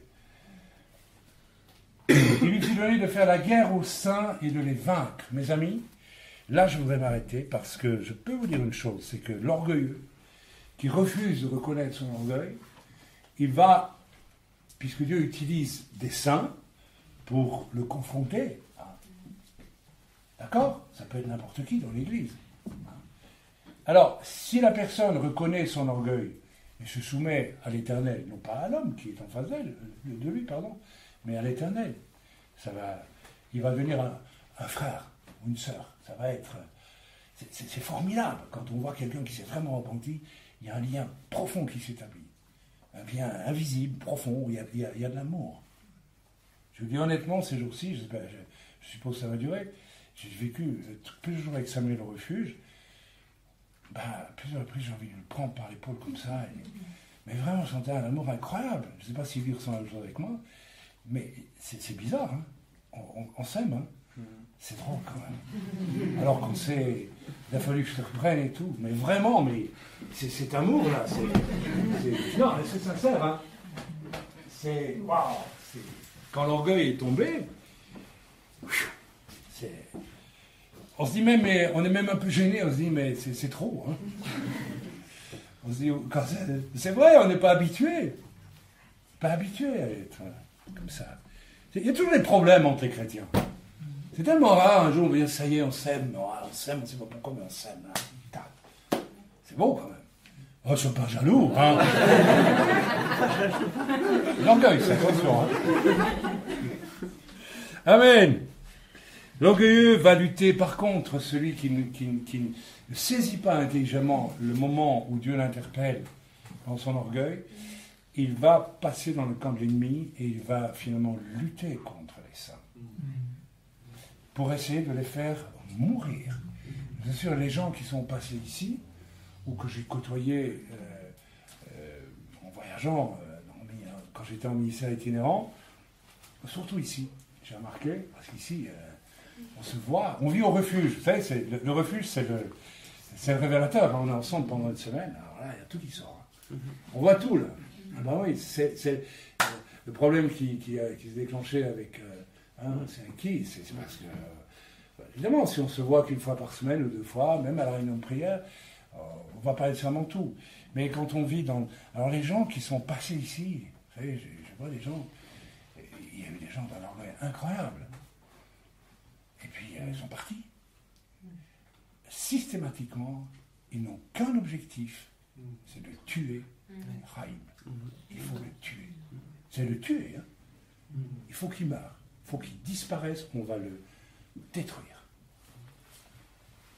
Il y a des moments où on dit, mais ok, qu'il soit pas d'accord et qu'il parte, bon ben, mais pourquoi vouloir tuer l'autre? Pourquoi je vais le tuer? C'est le péché de Cain, vous savez ça.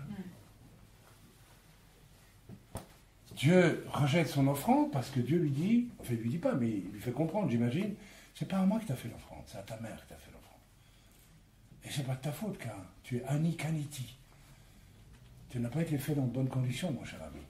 Tu as un problème. Moi, je veux t'aider. Qu'un. Si je te dis que je refuse ton offrande, parce que je suis vrai, je, la refuse, mais c'est pas pour te dire, Pu, pu, c'est pas ça. Non. Je vais, hé, je vais te faire comprendre quelque chose. Viens vers moi. Je vais t'expliquer. Je vais te délivrer de ta mère. Combien d'hommes doivent être délivrés de leur mère? L'orgueil de leur mère. Parce que Annie Kaniti, c'est le premier acte de rébellion ouvert et d'orgueil d'une femme dans l'histoire de l'humanité, mes amis. Ah ben oui. Je prends la place de l'homme, je me fais un bébé tout seul. C'est un acte terrible, un acte d'orgueil. Et Dieu a voulu le rattraper, qu'un. Si quelqu'un avait dit pourquoi tu refuses mon offrande Oh Dieu, au lieu de dire euh, la fumée revient sur moi. Oh, ça va pas, non? Vous voyez, là où il, a, il, s'est loupé. Il s'est loupé là. Il a tué son frère.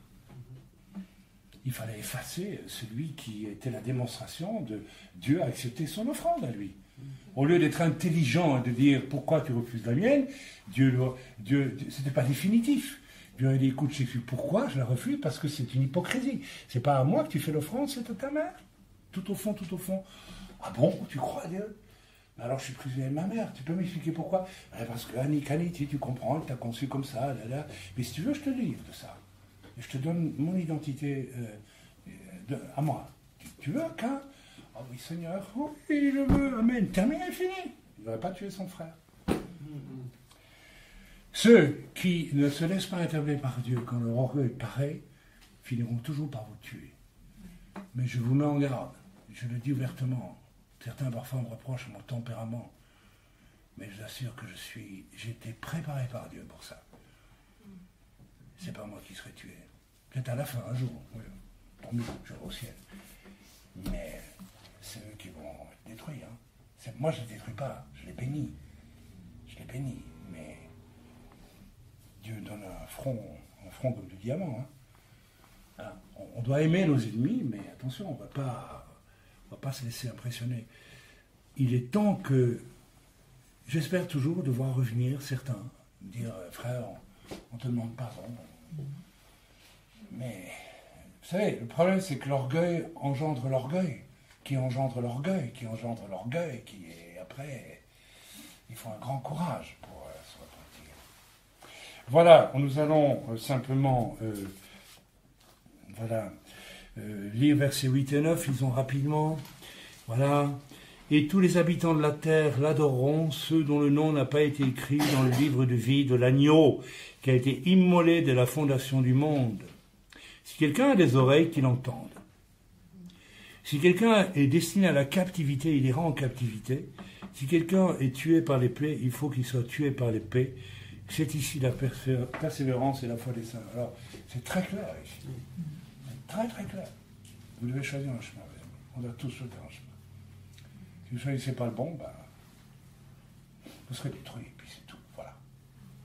Et il- dit ici aussi, hein, hein, c'est ici la persévérance et la foi des saints. Ok? Je ne vais pas revenir dessus, mais nous avons tous, vous aurez encore ceux qui ont. Vous savez, moi j'ai été très troublé il y a des années et des années lorsque je suis rentré dans le ministère sur un appel de, de- de deux frères et puis du Seigneur. Je me suis retrouvé tout jeune, j'avais trois ans de conversion peut-être. On est allé à une conférence de Reinhard Banquet. Et je suis monté le matin, je priais beaucoup. Et je suis allé, on est dans une auberge le long du Rhin, c'était très joli. J'aime bien l'Allemagne, moi. Bon, voilà, vous savez. Et on est, je suis monté tout seul très tôt le matin, il devait être 4 heures du matin, par là, dans la montagne. J'étais prié dans la forêt allemande, sur la montagne. Il y avait une montagne, une prairie au-dessus, je ne sais plus. Et je sentais tellement la présence de Dieu. Et quand je suis redescendu, sur le chemin, il y avait une pierre blanche qui avait été posée. Extraordinaire, toute un rectangle comme ça, posé au milieu de la route. Et le Seigneur m'a dit, euh, c'est pour toi. Et tout j'ai pensé au verset de l'Apocalypse qui dit, au vainqueur, je donnerai une pierre blanche et un nom nouveau. Et puis Dieu m'a donné un nouveau. Voilà, vous connaissez. euh, Peut-être j'aurais jamais dû l'utiliser, mais c'est un nouveau que seul celui qui l'a reçu peut utiliser. Connaît. Donc voilà. Et Dieu m'a dit une chose troublante. Il m'a dit, euh, tu es un vainqueur. Je dis, ouais. J'ai pas compris à l'époque. Je dis quelque chose que je comprends pas, parce que dans mon esprit, un vainqueur, c'est quelqu'un qui, euh, euh, qui, qui, qui- qui avait la victoire à la fin de sa vie. Alors, croyais ça, moi. Ça m'a dit non, tu es. Aujourd'hui, je comprends que déjà là, j'étais un vainqueur. C'est quoi être un vainqueur? C'est quoi?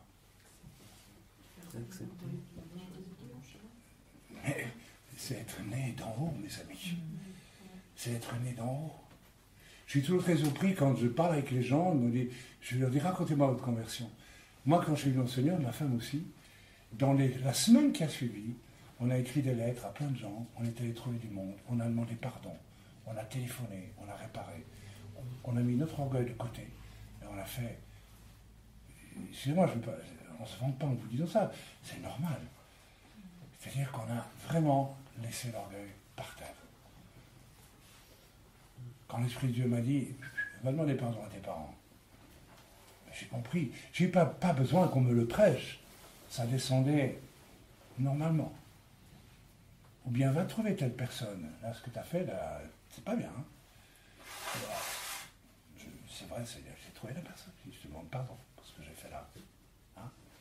Etc., etc., etc. Ok, bon.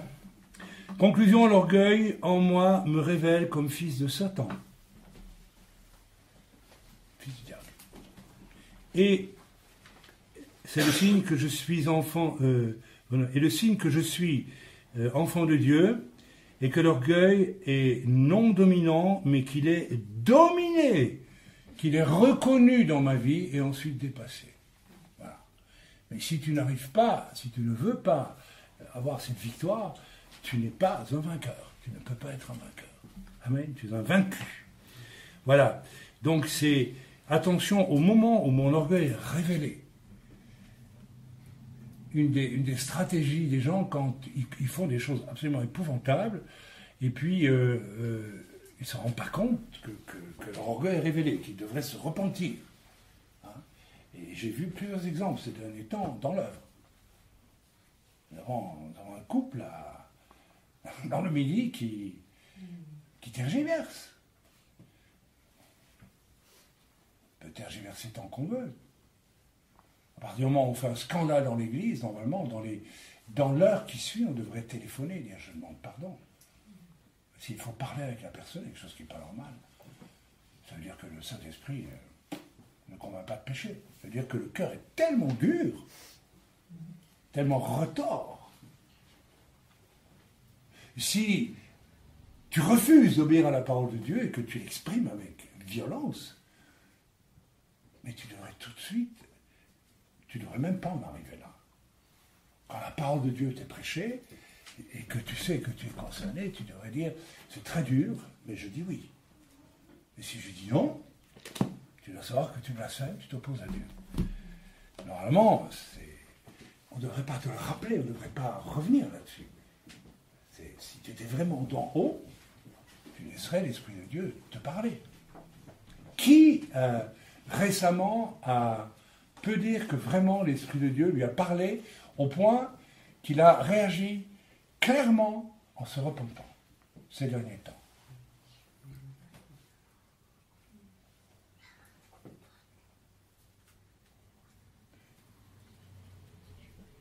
Ne levez pas trop vite la main, vous savez, parce que on voit très bien une différence. On voit très bien quand une personne.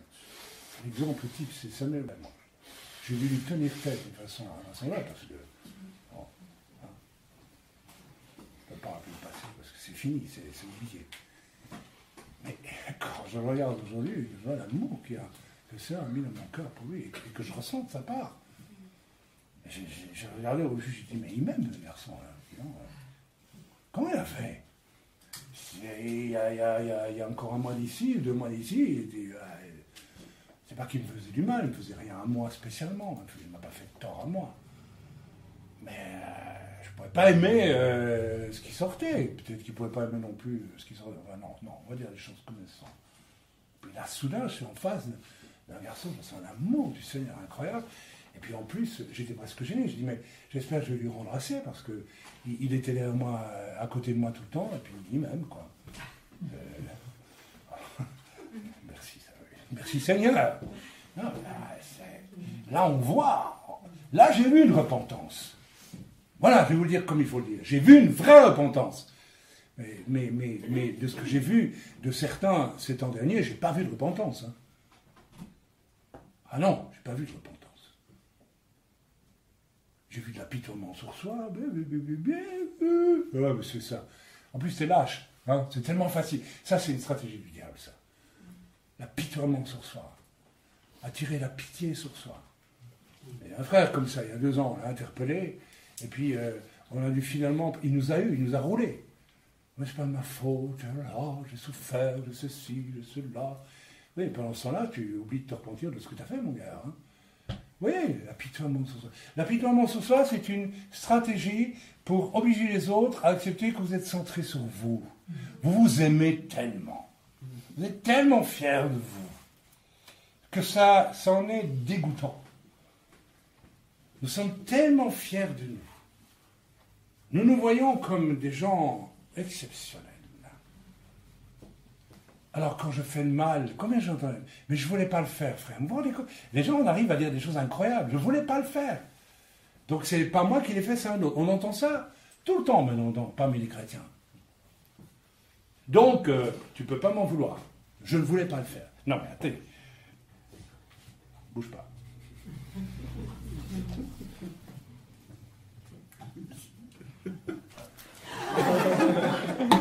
Ah, oh, mais je suis désolé, je ne voulais pas le faire.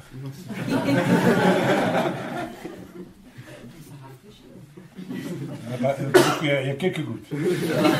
Mais c'est exactement ça que vous faites quand on vous reprend. On dit, je voulais pas le faire. Faut que je refasse. C'est terrible quand on me dit ça. Moi, je dis, mais, mais je sens, excusez-moi, la colère de Dieu. Je dis, mais il se fout du monde, là. Il se moque du monde. Pour ceux qui vont écouter l'enregistrement, j'ai bu mon verre, il restait trois gouttes. Je les ai jetées sur mon cher frère Samuel. Et puis j'ai dit, ah, mais je voulais pas le faire. Vous voyez, il faut parfois poser des actes qui montrent. Mais je l'ai fait, hein. Tu l'as senti, l'eau, hein Ah oui, oui, alors les gens, ils vous, ils vous traitent n'importe comment, et puis vous êtes bien, euh, voilà, vous, vous, commencez déjà à pardonner, d'ailleurs, parce qu'il faut pardonner. Et puis en plus, il vous, et la personne vous dit, ah, oh, mais je voulais pas le faire. C'est que c'est pratique. Oh, mais c'est pratique. Oh là là. Mais quelle lâcheté. C'est tellement centré sur moi. Ça m'est impossible de demander pardon. Hein? C'est tellement difficile. Hein Là, vous n'êtes pas né d'en haut si vous ne savez pas demander pardon. Ça va, je t'ai blessé ou pas Autrement, je te demande pardon. je m'en mets une goutte sur la tête. Bon, mais c'est bien. Vous voyez, c'est ça que vous faites. Très souvent, c'est ça que nous faisons. Amen. Ok. C'est le moment, à ce point du message, de comprendre que l'orgueilleux, par excellence, c'est le diable, parce euh, qu'il est devenu Satan, et le problème de, Lucifer, c'est qu'il était le plus beau des anges, etc. J'ai expliqué tantôt, à un moment donné, il n'a plus regardé à Dieu. Dieu lui a donné cette beauté parce que ça glorifiait Dieu, tout simplement. Il a regardé à lui-même. Vous voyez C'est ça. Et à base de ce moment-là, c'est fini, terminé. Et c'est exactement le poison qui, nous habite, mes amis, qui fait que, voilà, je ne peux pas euh, euh, admettre que j'ai... Alors attention, donc je l'ai dit, là, euh, on voulait lire, on ne le fera pas, Ézéchiel 28, on connaît tous ce grand passage, hein, Ézéchiel 28, vous lirez à la maison, hein, qui décrit finalement la chute du, diable. Hein. tu étais un, un, en Éden, etc. Tu étais couvert de pierres précieuses, tu étais magnifique, tu étais beau, et puis tu t'es, euh, tu, tu, euh, voilà, tu t'es accaparé cette beauté pour toi, et puis du coup, ben voilà, tu, es orgueilleux. Alors, vous savez, si on, analyse bien la chute du diable, on se rend compte que de là, on peut voir tous les comportements d'orgueil. L'idée supérieure qu'on a de soi, euh, vous voyez, toutes ces choses, la rébellion, le refus de. Voilà, l'arrogance. Il y a beaucoup d'arrogance chez, la personne qui refuse de naître non. Alors je voudrais quand même ici signaler une chose. si, je vous ai dit que vous n'étiez pas né d'en haut, eh il faut naître d'en haut, tout simplement. Comment, comment vous allez naître d'en haut J'espère que vous avez compris ce matin. J'espère que tu as compris comment tu vas naître. Et si tu refuses, c'est ton problème. Tu naîtras pas d'en Hein Ok Et puis plusieurs là parmi nous ici. Et ailleurs dans l'œuvre. Il faut naître d'en haut ce, matin, mes amis. Il faut naître d'en haut. Il faut naître d'en haut, mes amis. Amen. L'orgueilleux se trouve toujours beau, il s'aime beaucoup. Vous n'avez jamais l'impression que. Hmm, certaines femmes, c'est terrible. Moi, j'ai connu une, une, sœur quand je suis converti. Elle était mannequin, elle était violoniste, prof de violon. Elle était très belle, très, très, très, très belle. Elle est devenue folle aujourd'hui. Folle de quoi? Folle d'orgueil. Elle est enfermée. Hein. Hôpital psychiatrique. Quand elle, moi, moi, je me suis converti, je l'ai vue. J'ai dit à ma femme, elle va mal finir. Tu es converti d'un jour. Non, de deux, une semaine. Deux, je ne sais plus. Enfin bref. Et alors, euh, on allait, on se mettait en file pour, euh, pour la prière, parce que le, le Dieu priait. Et puis elle est allée. Et moi j'étais resté assis parce que je voulais y aller après. Et quand elle est repassée, elle est passée devant moi comme ça.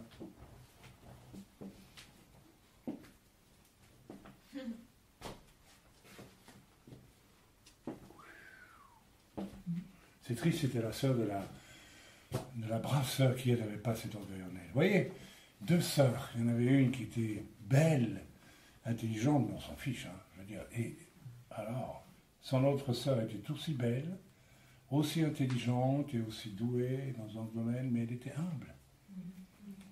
Eh bien, la folle, elle a été enfermée, finalement, elle, elle est tombée sous l'onction dans la Réunion, elle était habitée de démons. Ah, vous savez, l'orgueilleux, il a, il a des démons. hein. Si vous persistez dans l'orgueil, vous allez être habité de démons, ça c'est garanti. Ah bah oui. Vous les invitez. Alors non, elle est tombée, et puis euh, vous ne pouvez pas être délivré, parce que son problème, ce pas les démons, c'était son orgueil. C'est l'orgueil qui tenait les démons. Une des raisons pour laquelle on ne peut pas délivrer à toute berzingue les gens, c'est que le vrai problème des gens, ce n'est pas les démons qui les habitent, c'est l'orgueil qui est l'axe central et qui tient les démons. C'est vous-même qui invitez les démons, vous vous en rendez même pas compte. Le roi qui est resté, qui, qui sur son, jardin suspendu, c'est Nebuchadnezzar, si je oui, Nebuchadnezzar. Oh, admire mes jardins suspendus, comme ils sont beaux. Crac, Dieu dit, ah ben bon, t'as dépassé la limite. Allez hop là, pendant sept ans, tu vas être comme un animal, tu vas brouter l'herbe, tu vas avoir les ongles qui vont pousser, tu seras complètement euh, mais, humilié. C'est ce que je dis souvent. La seule, le seul moyen de voir Dieu vaincre l'orgueil dans nos vies, c'est quand il nous humilie. Tu étais humilié hein, quand, euh, quand il a fallu que tu lui demandes pardon. Bien sûr tu étais humilié. J'étais humilié quand j'ai dû demander pardon à certaines personnes que j'ai fait souffrir avant ma conversion. C'était humiliant. Mais vous refusez d'être humilié. Voilà le problème. Vous refusez d'être humilié. Vous ne voulez pas être humilié.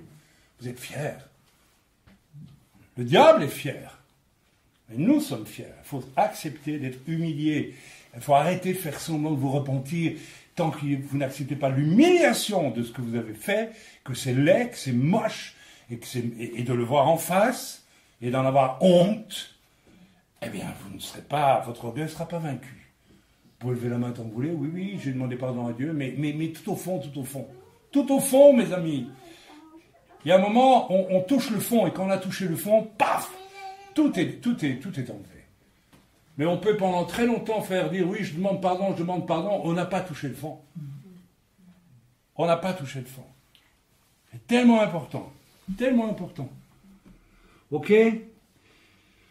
Euh, voyez l'histoire de, Pharaon. C'est- emblématique à souhait l'histoire de Pharaon.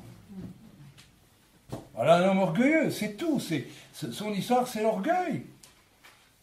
Dieu lui dit, bon, maintenant ce peuple-là que tu as réduit en esclavage, déjà tu n'avais pas à le faire. Pourquoi tu réduis un autre peuple en esclavage? De quel droit tu fais ça? Puis tu l'as exploité, tu lui as fait construire tes, tes bâtiments et tout ce qui s'ensuit. Bon, moi j'ai décidé que j'avais besoin de ce peuple. C'est mon peuple en plus, tu permets? Ah non C'est moi le chef. C'est moi qui décide. Je suis pharaon. Quelqu'un veut quitter l'église. Ben moi c'est un test pour moi. Ah non Tu quittes l'église, tu vas être maudit, tu vas voir. Il y a des pasteurs qui font ça. Bon, faut ce qu'on veut. Vous pourrez tous partir. Je ne vous maudirai pas. Je vous assure, c'est vrai. Non, non, ma femme est témoin. Vous ne m'appartenez pas. Vous ne m'appartenez pas, vous appartenez à Christ, j'espère en tout cas. C'est pas à moi. D'accord? Pharaon. Et Dieu envoie des signes. Et Dieu envoie des signes. Et puis, et puis il commence à céder. Puis ah, il revient. Vous savez, l'orgueil, il peut jamais vraiment. C'est terrible l'orgueil. Même qu'à un certain point, on veut céder, on ne cède plus. On est tellement habitué, tellement, ça devient un combat terrible. Le diable s'est saisi de l'âme de Pharaon. Et il faut une. Je ne sais pas comment il aurait pu faire autrement. Alors faites attention, ne vous entêtez pas lorsque vous commencez à voir que vous êtes orgueilleux. Humiliez-vous tout de suite devant Dieu, autrement le diable rentre, il va vous tenir et vous ne pourrez plus en sortir. Monsieur Judas, vous connaissez? Vous croyez que Dieu n'aurait pas voulu qu'il se repente? Mais si Jusqu'au dernier moment Lisez, vous verrez. Vous croyez qu'il était. que, Jésus voulait qu'il soit. Mais je suis sûr que non, Jésus aurait dit, même. Dieu aurait trouvé un autre moyen pour que Jésus meure sur la croix. La personne de Judas. Les pharisiens seraient. Je ne sais pas. Mais il n'a pas pu revenir en arrière. Son orgueil l'en a empêché. Je suis allé trop loin dans le chemin que j'ai pris. Si je reviens en arrière, le diable a dit, tu te rends compte, tu vas avoir l'air d'un pauvre type. Ça, c'est, Ça, je l'ai vu dans, dans les, dans les yeux de certains ces, ces temps derniers. Si j'avoue ma faute, le diable me dit que j'aurais l'air d'un d'un minable. Mais tu es minable. Je suis minable. Nous sommes minables. Mais Dieu nous rend formidables. Vous voyez, j'ai paraphrasé Stromae là. pas fait exprès. Mais Dieu nous rend formidables. Si nous reconnaissons que nous sommes minables. Mais c'est dur hein, d'admettre qu'on est minable, qu'on est orgueilleux, qu'on est dans l'échec. Pharaon, etc., etc. Je ne vais pas en dire plus. Nous lirons, euh, nous lirons le reste cet après-midi. J'aimerais qu'on prie euh, là-dessus parce que c'est quand même important. Je n'ai pas besoin ici de vous nommer, de vous désigner. Certains d'entre nous, nous avons eu des réactions ou des attitudes euh, de scandale, de scandale. Voir des attitudes de profonde rébellion à l'égard de Dieu. Et si, si j'ai dû prêcher ce message aujourd'hui, c'est parce que vous devenez dangereux pour, pour l'Église. Parce que si par votre violence, vous ouvrez la porte à des démons, euh, il vaudrait mieux qu'ils ne rentrent pas. Il vaudrait mieux qu'ils ne rentrent pas, et si vous avez des démons qui vous de votre rébellion, je ne prierai pas pour votre délivrance. Nebuchadnezzar, pendant sept ans, il a vécu comme une bête. Vous voyez la bête? Il est devenu une bête. En réalité, quand nous laissons l'orgueil nous dominer, nous devenons comme des bêtes. Nous sommes des bêtes. Nous sommes. Euh, on est laid. Il faut savoir le regarder en face. Si tu n'as pas fait aujourd'hui ou hier, fais-le fais aujourd'hui, mon frère, ma soeur. Je vous ai dit que Dieu m'a dit un jour, j'étais un vainqueur, je comprends pourquoi aujourd'hui. Parce que j'étais honnête, j'ai dit oui Seigneur, j'étais plein de problèmes. Et de péchés même. Mais je n'ai pas caché à Dieu. Et quand Dieu m'a dit va te repentir, je l'ai fait. Dieu ne vous demande rien d'autre que ça. Ça, c'est encore l'orgueil de dire il faut que je cache mes faiblesses. En Christ, je suis parfait. Tu n'es pas parfait. Loin de là. Encore du boulot. Encore heureux d'ailleurs, parce que si on était. ben, tant mieux, c'était tout de suite parfait. Coup de baguette magique, le Seigneur vient, craque, t'es parfait. Mais force est de se rendre compte que certains, très vite, il y a une espèce de. ils sont d'en haut, si vous voulez, parce qu'ils se repentent. Puis d'autres, il leur faut du temps. Il leur faut parfois des années. Mais euh, il n'y a aucune raison d'attendre des années. Alors j'aimerais bien que ce matin, on fasse pas juste une petite prière. Oui, ça, je demande pardon. Mais qu'on prenne conscience profondément. Si, on a été en, but à dominé par l'orgueil, eh bien, euh, euh, vous savez, c'est comme ça qu'il y a des gens. L'Écriture le montre aussi. hein, euh, il y a des gens qui viennent à Christ et puis qui font demi-tour. Parce qu'ils ne supportent pas l'idée de, ben voilà, de passer ce cap. Ils ne supportent pas. C'est terrible, on voit ça. J'ai vu ça un jour avec un. Mais il est revenu au Seigneur quand même. Un- Belge qu'on avait amené au Seigneur, et puis, par orgueil, il a fait demi-tour. euh, mais ils sont empressés de galoper pour revenir, hein, quand même. Quand il a vu euh, dans quoi il retournait, hein, il a expérimenté que d'être avec le Seigneur, c'était quand même beaucoup mieux. Et il est revenu. Que Dieu soit béni, que Dieu soit béni. Amen. On va prier peut-être un, petit peu avant de.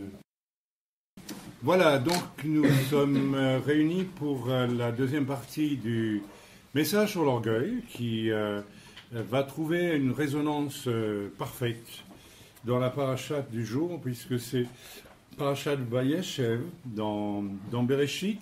Donc, c'est le chapitre euh, Shoshim Ve Sheva 37 de Bereshit. Donc, dans vos Bibles, euh, c'est chrétienne, c'est la Genèse Bereshit, au chapitre 37. Je vais donc lire ce que j'ai là. Jacob s'installa dans le pays du séjour de son père, dans le pays de Canaan. Voici l'histoire de la descendance de Jacob. Joseph, âgé de 17 ans, était berger avec ses frères auprès du menu bétail. J'aime bien cette idée du menu bétail. a l'air anodin, mais rien d'anodin.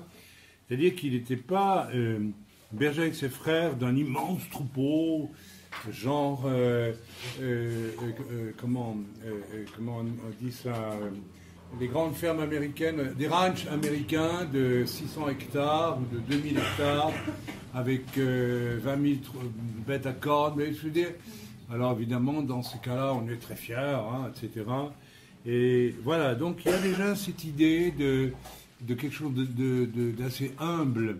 Et souvent, lorsqu'on on visite Israël, ou bien quand les gens questionnent sur Israël, moi, quand j'ai été en Israël la première fois, je, voyais Israël dans ma tête avec une projection européenne. Et comme j'avais étudié l'histoire de l'art, euh, vu, je, m'étais intéressé à l'art gothique. Donc j'avais vraiment une vision gothique d'Israël, c'est vous dire. hein. Donc je croyais que tout était grand et comme ceci. Puis je en Israël, je me mais c'est tout petit ce pays. Mais on réalise que quand Jésus allait d'un endroit à un autre, mais il marchait 3 kilomètres. Et puis nous, on s'imagine dans la Bible qu'il a fait. Quand Jésus va voir Lazare, on se dit, mais il a dû marcher je ne sais pas combien de jours. Il y a deux jours, je pense, ou, trois. Et puis, entre trois jours, entre le moment où on lui annonce qu'il qu'il- il a vraiment marché très lentement, Jésus. hein, il ne s'est pas pressé. hein. En fait, le parcours est, est- Béthanie n'est pas loin du tout. Donc, il y a cette, euh, image euh, d'un peuple qui est choisi par Dieu comme peuple témoin, finalement. Alors, il faut bien, là, j'en profite pour euh, mettre les choses au clair. Faudrait un jour faire un message sur qu'est-ce que c'est que le peuple juif. Qu'est-ce que c'est? Parce que pour beaucoup de gens, c'est relativement nébuleux. Et donc, on y engouffre beaucoup de choses euh, euh, extrêmement dangereuses qui mènent soit à un philosémitisme, c'est-à-dire une amitié pour Israël qui est fanatique, dans certains cas, ou un antisémitisme qui est évidemment aussi fanatique. Alors, il faut. euh, le, le peuple d'Israël, c'est un peuple témoin, en réalité. C'est un peuple sur lequel Dieu s'est appuyé pour euh, communiquer la loi, etc., etc., etc. Donc ce peuple ne peut pas disparaître, c'est impossible. C'est pour ça que quoi qu'on fasse contre ce peuple, il euh, ne disparaît pas. Parce que s'il arrivait à disparaître, euh, ce serait la preuve que Dieu, Dieu, Dieu est vaincu. Or, Dieu ne peut pas être vaincu, il n'est pas vaincu. Donc, euh, crois que c'est important parce qu'il y a dans l'esprit de beaucoup de gens euh, une relation finalement qui peut devenir ambiguë et, pas très claire avec Israël. Alors, je crois qu'il faut euh, euh, débarrasser, on en a parlé ce matin, beaucoup nos vies de tout ce qui vient de nos âmes. Vous savez, très souvent, dès quand les personnes sont d'origine israélite ou bien sont d'un parent israélite, ça prend une place. Bien sûr, on est, ok, on est juif, mais ça prend une place. C'est comme je dis ce matin avec l'orgueil. Euh, Une chose peut être juste, mais comment, comment on l'utilise? Vous voyez, rappelez ce matin, c'est important, ça retenez ça. Donc là aussi, on doit faire attention au comment je l'utilise, comment je le vis, qu'est- qu'est- qu'est-ce que j'en fais. Hein, je me rappelle, euh, j'ai fait partie d'une fédération que je ne nommerai pas, n'est-ce pas, où il y avait surtout des juifs, et j'y étais. J'ai été accepté comme juif étant d'origine juive, ce que je n'ai jamais, au passage, je n'ai jamais dit que j'ai été élevé dans une famille qui à la synagogue, j'ai été élevé comme catholique d'origine israélite. Donc j'avais été accepté euh, en tant que juif, et je me sens juif, c'est un fait, n'est-ce pas dans cette... Et là, j'ai démissionné au bout de deux ans parce que, franchement, quand je voyais certains ténors qui utilisaient leur talit comme des ailes du, du Concorde, vous voyez ce que je veux dire, qui planaient très haut, je dis, oh là là, il y a un orgueil dans tout ça. Vous voyez, on peut être orgueilleux avec tout. Et euh, bon, ok, quelquefois ici, certains mettent une kippa, d'autres pas. Je n'ai rien contre, je n'ai rien pour. Mais, mais si ça devient, comprenez, c'est ça le problème. Il faut que, c'est toujours là qu'il faut, voilà. Donc euh, Joseph et ses frères, n'est-ce pas, paissaient un menu bétail. Il faut que cette idée de quelque chose de menu reste, qui correspond à l'humilité, soit, soit, soit vraiment toujours notre. Je parlais avec euh, notre sœur là à l'instant, elle me disait je, suis content parce que j'ai vu que l'orgueil a toutes sortes de facettes. Il peut, il peut s'exprimer. Et encore, je n'ai pas tout donné ce matin. Il y a énormément de facettes. C'est très subtil. Vous savez, c'est comme un liquide qui se répand. Par terre, il va partout. C'est un poison qui peut s'exprimer de mille façons. un silo coule dans, un, dans des roches rouges, elle va devenir rouge. Si elle, coule dans des roches euh, grises euh, du schiste, elle va devenir plus grise. Vous voyez ce que je veux dire? Donc l'orgueil a beaucoup de facettes et nous devons toujours nous laisser radiographier constamment par l'Esprit de Dieu. Est-ce que je suis toujours en train de paître un, menu bétail ou est-ce que ça y est, j'y suis. Je me rappellerai toujours d'un jeune homme, je dis un jeune homme parce que ce n'est pas un homme de Dieu, euh, qui euh, m'avait reçu chez lui il y a des années, des années, et qui avait une très bonne situation là dans le pays où il se trouvait, et puis il rêvait d'avoir une église, il rêvait d'être pasteur, d'avoir une église. Euh, Le problème, c'est qu'on peut rêver, mais si Dieu ne t'appelle pas, tu peux faire ce que tu veux.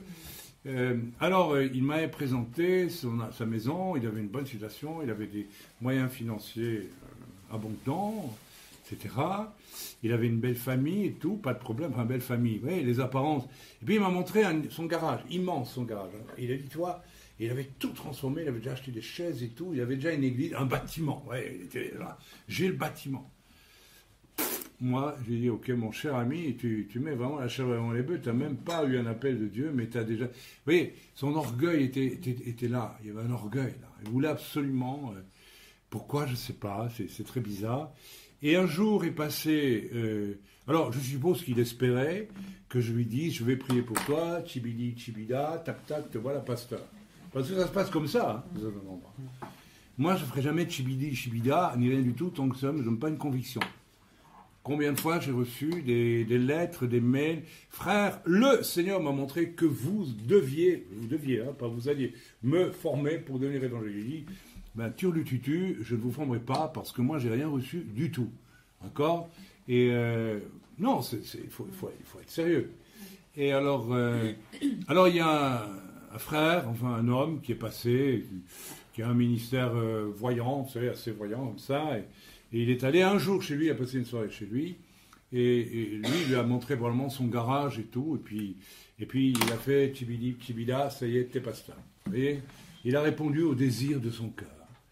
Et alors, je l'ai rencontré, oh, c'était rigolo, dans une convention quelques temps après. Et qu'est-ce que je vois en face de moi? C'était, il vient, il se met expressément en face de moi et euh, il me dit Ah, tu vois, maintenant, je suis comme toi. Qu'est-ce que ça veut dire? Qu'est-ce que ça veut dire Je suis comme toi. J'ai rien dit. J'ai dit Écoute, euh, bon, le Seigneur te, montrera la vanité de, ton cœur. C'est triste, c'est dommage. Vous je suis comme toi. Donc en réalité, il y avait de la jalousie, il y avait de l'orgueil, il y avait de l'envie, il y avait de la convoitise, il y avait tout ça. Alors que cet homme avait une bonne situation, il avait une, femme merveilleuse, des enfants, il avait tout. Mais il voulait encore, vous voyez, il voulait encore, voilà. Il y a des gens comme ça qui fonctionnent dans la vie, ils veulent toujours plus, ils veulent, ça, c'est, tiens, ça j'en ai pas parlé ce matin, ça c'est un des, un des signes très subtils de l'orgueil. Je veux toujours plus, je veux grimper toujours plus, je veux toujours avoir plus. Normalement, si tu, tu, tu es né d'en haut, euh, ça le Seigneur va te le bloquer. Hein, je ne sais pas euh, si, euh, je sais pas si, si c'est par pure ambition que tu veux grimper, n'est-ce pas Eh bien, le Seigneur va peut-être te laisser faire. Si le Seigneur a, a- a com- a- a compris qu'avec avec toi on peut rien, on peut rien faire de toute façon, bah, il va te laisser faire, il va te laisser monter dans le monde. Et puis tu seras, voilà. Quand tu arriveras au ciel, le Seigneur te dira, ben écoute, voilà, euh, je ne vais pas te donner de récompense, j'ai déjà eu tout sur la terre, bon ben voilà. Ah oui, mais j'assure que ça arrivera. hein. Alors nous devons savoir dans quel royaume nous voulons grandir. D'accord? Alors le royaume de Dieu, on n'y grandit que par l'humilité, jamais par euh, rien d'autre. Donc c'est très important. Voilà, vous voyez, j'ai beaucoup parlé sur le menu bétail. Mais il était un jeune homme demeurant, donc Joseph, avec les fils de Bila et les fils de Zilpa, épouse de son père. Je pourrais développer les- ici. hein. Il, était, mais je ne vais pas en parler euh, aujourd'hui, il était quand même un fils de Bilha. Il, demeurait avec les fils de, de deux femmes. Son père avait deux femmes, et il demeurait un peu plus avec les femmes quand même. Hein, Joseph? Veut dire quelque chose quand même. Hein Euh, bon, mais je ne vais pas développer cet aspect-là aujourd'hui. Joseph rapportait des paroles médisantes sur eux à leur père. Ça, c'est l'effet d'être éduqué plus par des femmes que par des pères. Vous voyez, il avait quand même un cœur un petit peu... euh, hein.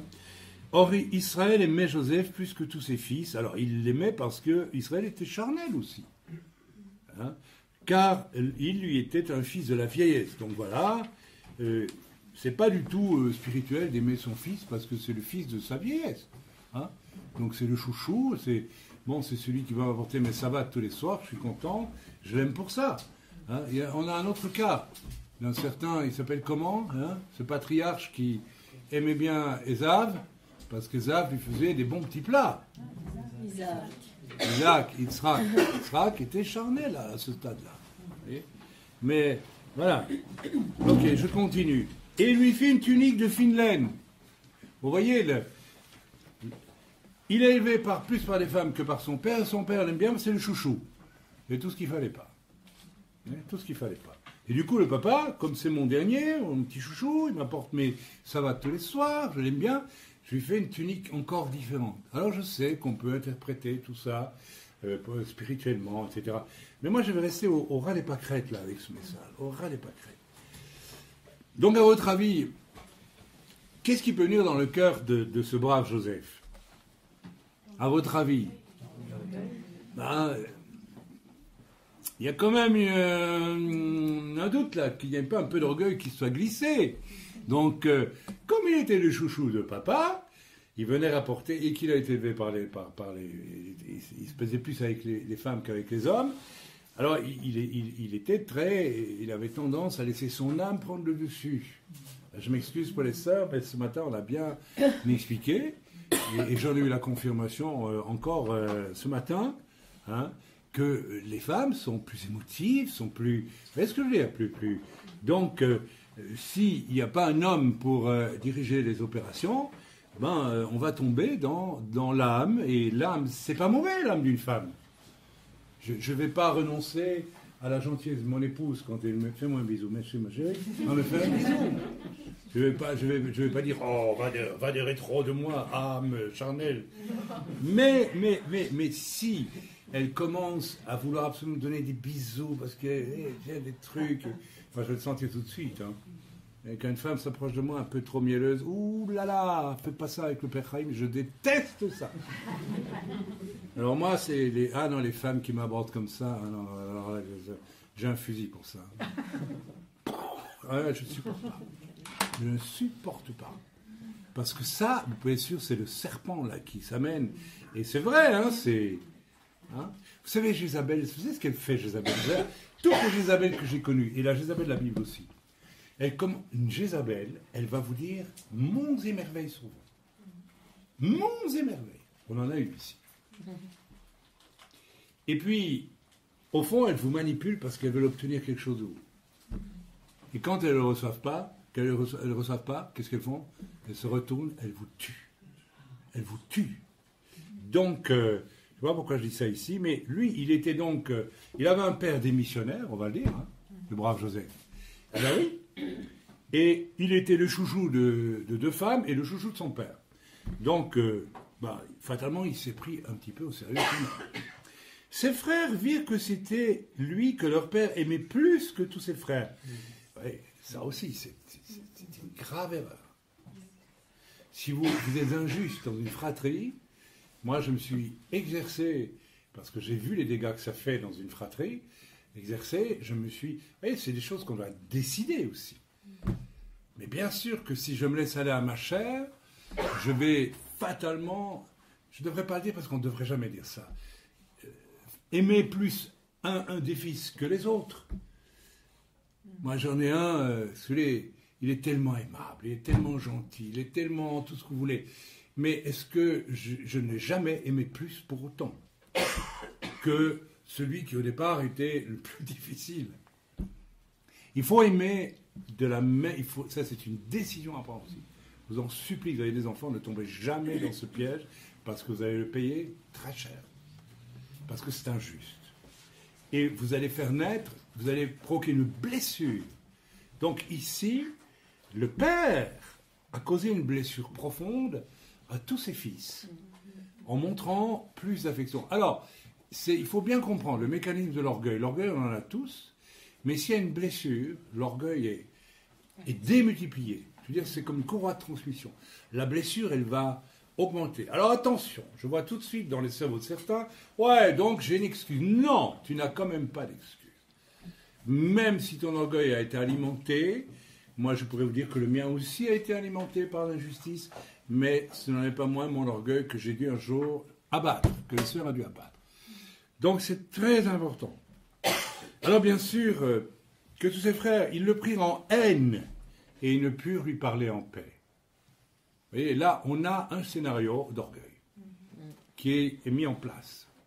Et ça va donner une sacrée histoire. Quand vous lisez la suite de l'histoire, ça va prendre du temps pour récupérer tout ça. Ça va prendre beaucoup de temps. Et ici, il y a la faute du, patriarche, du père. Hein. Le père n'aurait pas dû laisser non plus son fils quelque part, être comme ça, se réfugier toujours vers. Vous savez, les enfants, je vais dire quelque chose qui va vous déplaire, ça fait rien. Ils vont jamais aller volontairement vers leur père. Hein. Vers qui ils vont, les enfants? Maman Maman, papa Ouais. Et qu'est-ce que font certaines femmes? Mais non, écoute pas, mon chéri, il est trop difficile. Oui, ça va jusque-là. Hein. Vous devriez fourrer vos enfants dans les mains de vos, de vos pères, de vos maris. Moi, je me souviens quand euh, j'ai voulu aller à l'Académie, des Beaux-Arts à Namur, en Belgique, j'ai été trouver ma mère. Évidemment, on va trouver maman, hein, parce qu'elle euh, va fléchir papa. Hein. On est quand même des petits salopios. on est quand même, on manipule. Hein. C'est terrible ce qu'on est manipulateur. On veut obtenir quelque chose, et ma mère a eu un bon réflexe. Elle m'a dit Tu vas demander à ton père. Je dis Zut, c'est raté. Parce qu'elle aurait fait un bon petit plat, elle aurait été gentille, il y, a, un film comme ça où on voit, je ne sais plus quel film, où un, gosse veut aller faire des études de médecine alors que son père est, un grand fermier texan. C'est un film américain très connu.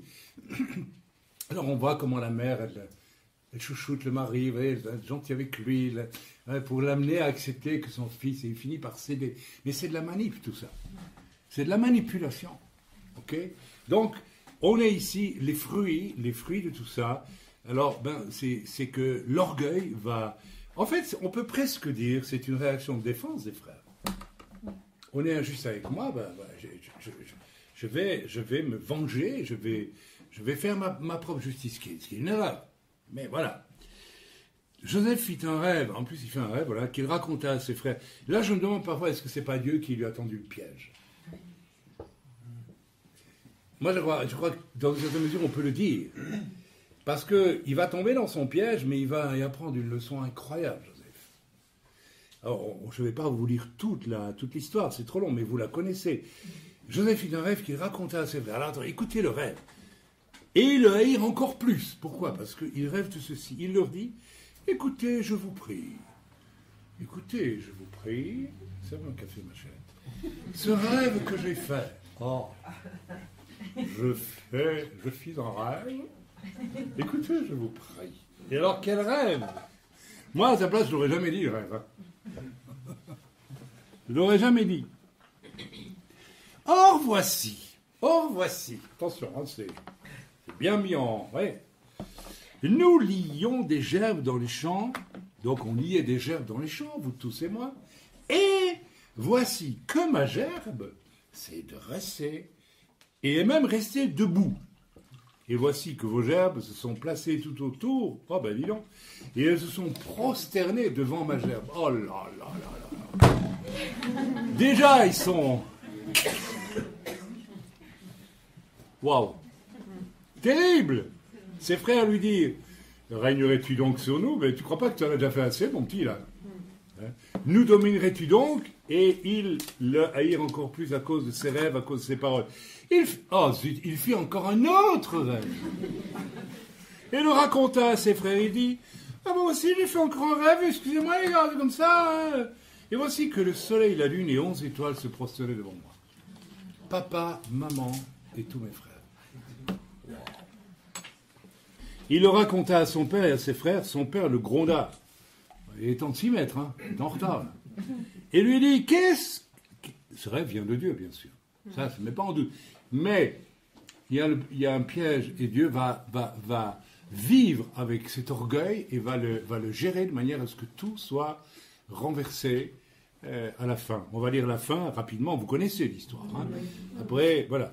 Qu'est-ce que ce rêve que tu as fait? Viendrions- Viendrions-nous, pardon, moi, ta mère et tes frères, nous prosterner devant toi jusqu'à terre? Ses frères furent jaloux de lui et son père garda la chose. Ses frères partirent faire paître le troupeau de leur père à Shrem. Israël dit à Yosef, n'est-ce pas que les frères vont paître à Shrem? Viens, je vais t'envoyer à eux. Il lui dit, me voici. Il lui dit, va donc voir comment se porte. Il continue.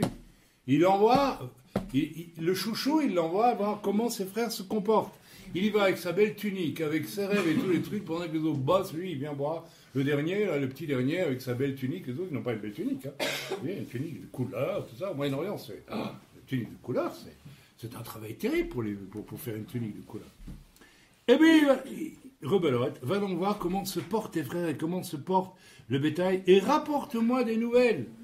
Il envoyait dans la profondeur de Hébron et il arrivait à Shrem. Etc. On la connaît la suite. Alors les frères excédés, ils vont le jeter dans un puits, ils veulent le tuer quoi. Il y en a un, je crois que c'est Judas qui va dire non, n'allons pas trop loin. Je pense que c'est Judas. hein, C'est Judas. Euh, Ruben, pardon. Ruben, l'aîné. Alors ça c'est très intéressant. C'est très intéressant. Mais bon, on ne rentre pas dans le détail parce qu'autrement on en fait pas. Et finalement, ils vont l'extraire du puits, ils vont le vendre à des, des, des- des caravaniers et il va être emmené euh, en Égypte où il va devenir euh, un esclave et euh, il sera. Alors bon, là, là c'est une autre thématique. Euh, comme il, y a des promesses de Dieu sur, son peuple, donc il va, être utilisé par Dieu de façon particulière. Vous connaissez la suite de l'histoire. Et les épreuves de brisement vont commencer. Alors, euh, l'une d'entre elles, vous la connaissez, hein, c'est laquelle? C'est quand la femme de, Potiphar va vouloir coucher avec lui et qu'il va s'enfuir. Alors, c'est intéressant parce que il va, il va, il va laisser sa tunique sur la couche. Il va être dénudé. Ça, c'est intéressant parce que il y a un message là que Dieu certainement lui fait certainement ressentir. Tu vois, tu vois, tu as reçu une tunique qui t'a enorgueilli et qui a éveillé l'orgueil de tes frères, la jalousie de tes frères. Eh bien, maintenant, je, je te- je t'enlève toute ta tunique. Il y a vraiment là un dépouillement, il y a une humiliation.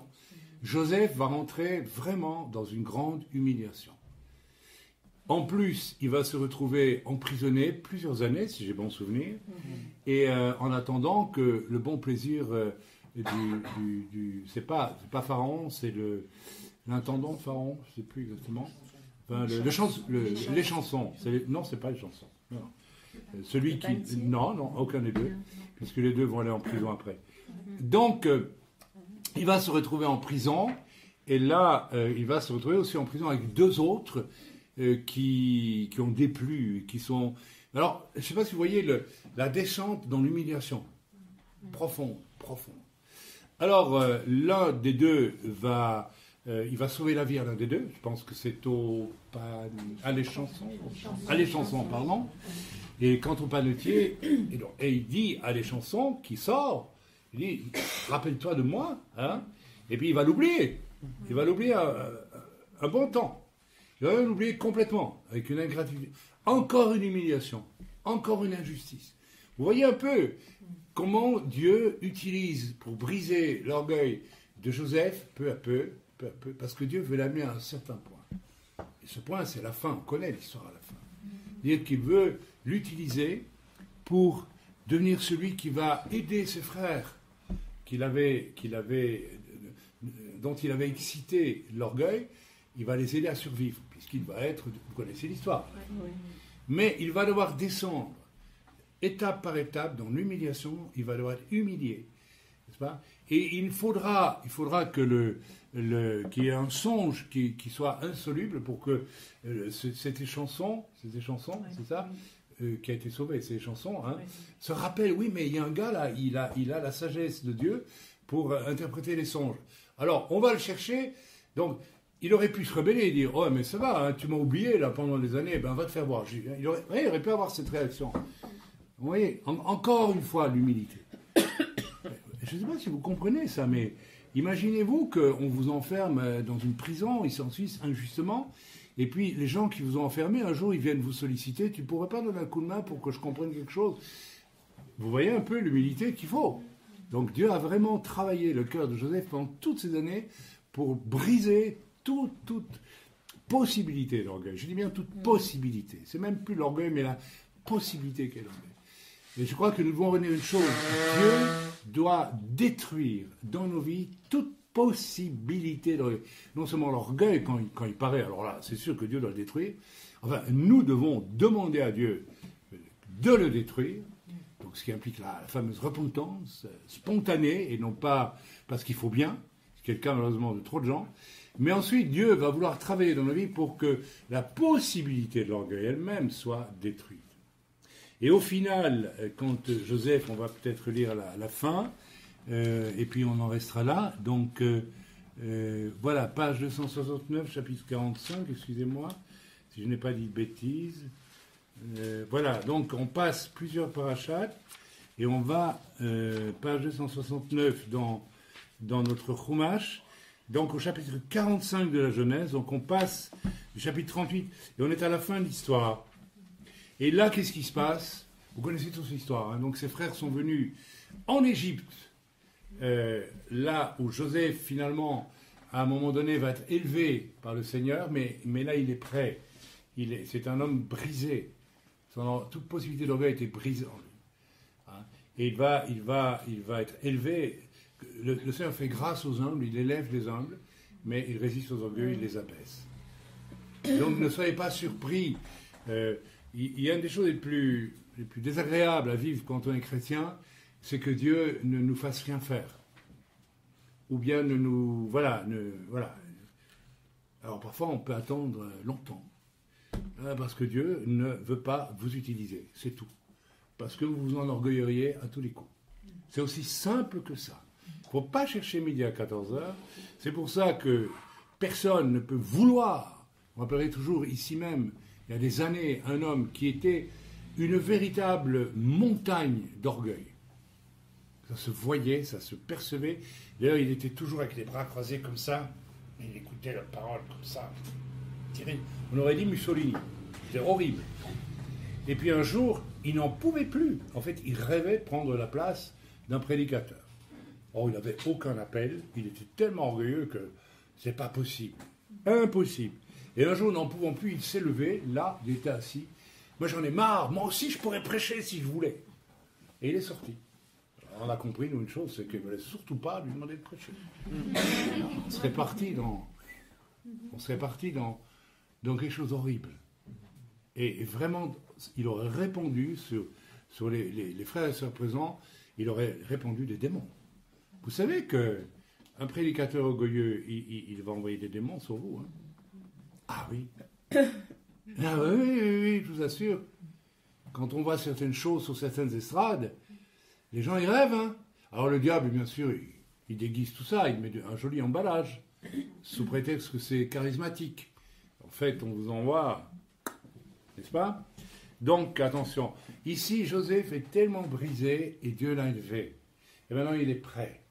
Il est prêt pour quoi Quelle va être le grand œuvre, je dirais, la, la grande œuvre dans la vie de Joseph? Bien, c'est de retrouver ses frères. Et on connaît la suite de l'histoire. Il va se, comme il sait euh, qu'ils ont été terriblement humiliés, il va pas se faire reconnaître tout de suite. Vous voyez? Il aurait pu d'emblée leur dire Bon, regardez, vous voyez qui je suis, je suis un personnage important en Égypte. Et c'est moi, Joseph. hein. Il serait reparti euh, en colère. Il va aller jusqu'à se di- di- dissimuler qu'il est leur frère. Il ne va pas leur dire. Il veut vraiment qu'ils comprennent quelque chose. Que Dieu a brisé. Pour être utile à ses frères, il faut qu'il apparaisse humble. Il faut qu'il soit humble. Donc il va cacher qu'il est Joseph. Et donc ses frères vont voir euh, un grand d'Égypte qui peut les secourir pour la nourriture, puisqu'il y a une famine euh, en Israël. Et c'est à la fin, après toutes sortes de... Alors on va pas rentrer dans les détails, mais vous le lirez, après toutes sortes de choses très particulières, puisqu'il va, il va en garder en otage, il va demander qu'on aille chercher le plus jeune. Il y a une parabole là aussi, puisque le plus jeune est resté près du père. Donc, il avance tout doucement. Il espère que, en disant, je garde en otage l'un ou l'un d'entre vous, c'est ça, et vous allez me chercher le plus jeune, le dernier qui est près de son papa. Ils se sont dit, ça va peut-être faire tilt dans leur tête, parce qu'il y a X années, le plus jeune, qui était près de son papa. Parce que vraiment, papa n'a pas changé, il est toujours aussi charnel. Il a toujours son chouchou, il a un nouveau chouchou. Le dernier, vous voyez ce que je veux dire Il a espéré, Joseph, qu'ils vont peut-être comprendre. C'est Dieu qui lui a dit, tu avances doucement dans l'affaire. Parce que si il réalise tout de suite que tu es le, premier responsable de l'Égypte après Pharaon, et que c'est, tu l'as déjà agacé avec l'histoire, n'est-ce pas, de ta, vision, donc il, doit, vous voyez l'humilité qu'il a fait à Joseph, d'attendre le temps de Dieu. Et à un moment donné, il se dévoile. Quand tout est, quand ils se rendent compte que, euh, n'est-ce pas, euh, cet homme est spécial, il a un, comportement spécial, et il les secourt en plus. Et à un moment donné, ils, sont prêts à le reconnaître. Non plus comme l'homme qui les a humiliés, mais comme un homme brisé. D'accord? Et Joseph ne put se contenir en présence de tous ceux qui se tenaient devant lui. Il s'écria Faites sortir tout le monde de devant moi. Donc tous les Égyptiens. Vous voyez Vous allez dire, mais pourquoi il fait ça? Parce qu'il ne veut pas que ce soit un spectacle. C'est une réconciliation entre frères. Ça va se faire dans, dans l'intimité, dans l'humilité. Et c'est un grand c'est- c'est le premier personnage après Pharaon. Voyez, il, enlève tout. Il veut pas de témoins, il veut rien, il veut pas de décorum, il veut pas les esclaves, les ceci, les, je sais pas moi, les, échansons, les, gardes, les nobles qui sont là. Il est entouré d'une cour immense, Joseph. C'est quand même un grand d'Égypte. Vous voyez Donc là encore, l'humilité. Ils ont dû être troublés, les autres. Mais qu'est-ce qu'il fait? Pourquoi il enlève tout le monde? Qu'est-ce qu'il veut nous dire? Et personne ne resta auprès de lui lorsque Joseph se fit connaître à ses frères. Il éleva sa voix avec des pleurs. L'Égypte entendit, l'Égypte entière entendit les pleurs de Joseph. Et la maison de Pharaon entendit. Amen. Et Joseph dit à ses frères, je suis Joseph. Etc. Et puis ça a été incroyable. C'est-à-dire que là, c'est Chaim, Goël et euh, euh, Shmuel qui se rencontrent, et puis qui, alors que c'était l'orgueil, là c'est l'amour. voyez. Donc, je ne te dérange pas quand je dis ça. Ben, c'est comme ça. Donc, euh, il y a un message énorme là sur, sur, sur la nécessité pour Dieu de nous briser. Vous voyez, et finalement, la vision que Joseph avait reçue, elle s'est accomplie. Mais la vision en même temps, elle a provoqué quelque chose. Vous voyez, vous, vous voyez ce que je veux dire Donc parfois, Dieu nous annonce des choses. Vous savez, ça m'est arrivé de recevoir des prophéties. Et le Seigneur m'a dit, si tu l'as dit, c'est dangereux. Il n'en a dit pas aux gens. J'ai reçu des paroles pour certaines, souvent ça m'est arrivé. Et puis le Seigneur me disait, ne le dis pas, il va devenir fou d'orgueil. Donc laisse-moi encore le briser, laisse-moi encore briser son orgueil. Et puis je prendrai un autre, quelqu'un d'autre pour donner la, la- la prophétie. Donc, euh, c'est très. On va dire, mais pourquoi est-ce que Dieu te dit une parole et que tu ne la dises pas? Mais aussi parce que Dieu veut me tester moi. Eh ben oui, c'est toujours ça une prophétie. Et que Dieu me dit, tu ne la dis pas. Il faut, il faut de l'humilité pour ne pas dire, Euh, j'ai reçu une prophétie. là. Vous voyez jusqu'où ça va se nicher tout ça. Vous voyez l'orgueil, comme c'est terriblement. Et Dieu veut vraiment nous mettre dans des situations où nous allons choisir. C'est nous qui choisissons. Vous savez, tout au long de son parcours, Joseph aurait pu bloquer. Aurait pu dire non, je n'en veux plus, c'est injuste, la femme de Potiphar, je, bloque tout, je n'avance plus, j'en ai marre, je me rebelle. Ah oui, c'est injuste, c'est injuste ton histoire. Attendez, euh, elle veut coucher avec lui, lui, il veut pas, c'est bien quand même. C'est- moral. Elle lui prend son vêtement et puis elle, dit regardez, mais c'est terrible. Parfois des injustices terribles peuvent nous être aussi appliquées et Dieu le permet parce qu'à travers ces injustices terribles, parfois nous serons brisés, nous serons humiliés. Si je dois expliquer certaines de- des choses terribles que l'on m'a faites, quelquefois, je suis obligé, et je l'admets bien volontiers, que c'était nécessaire, c'était mal la part de ces gens, mais c'était nécessaire pour mon brisement. Pourquoi est-ce que Dieu ne m'a pas demandé plus tôt de pratiquer la justice de l'Église avec certains? Curieux ça quand même. hein. Pourquoi Dieu me dit de le faire aujourd'hui? Parce que je crois que comme Joseph, je suis arrivé au terme d'un un processus de brisement profond et que voilà. D'une certaine façon, Dieu vous élève quand Dieu vous dit tu peux pratiquer la justice de l'Église. Vous comprenez ce que je, dis le plus modestement possible. hein. Mais voilà. Donc, ne vous empressez pas de vouloir être quelqu'un, parce que je vous garantis que même si Dieu doit vous réserver des temps d'injustice, vous devez savoir le gérer en disant C'est pas assez injuste que je me rebelle contre. Euh, peut-être que tu es en train de me briser, Seigneur. Je dis souvent aux gens c'est par l'humiliation que Dieu va permettre dans votre vie que d'une manière mystérieuse, votre orgueil va, va se, comment dire, se, résorber.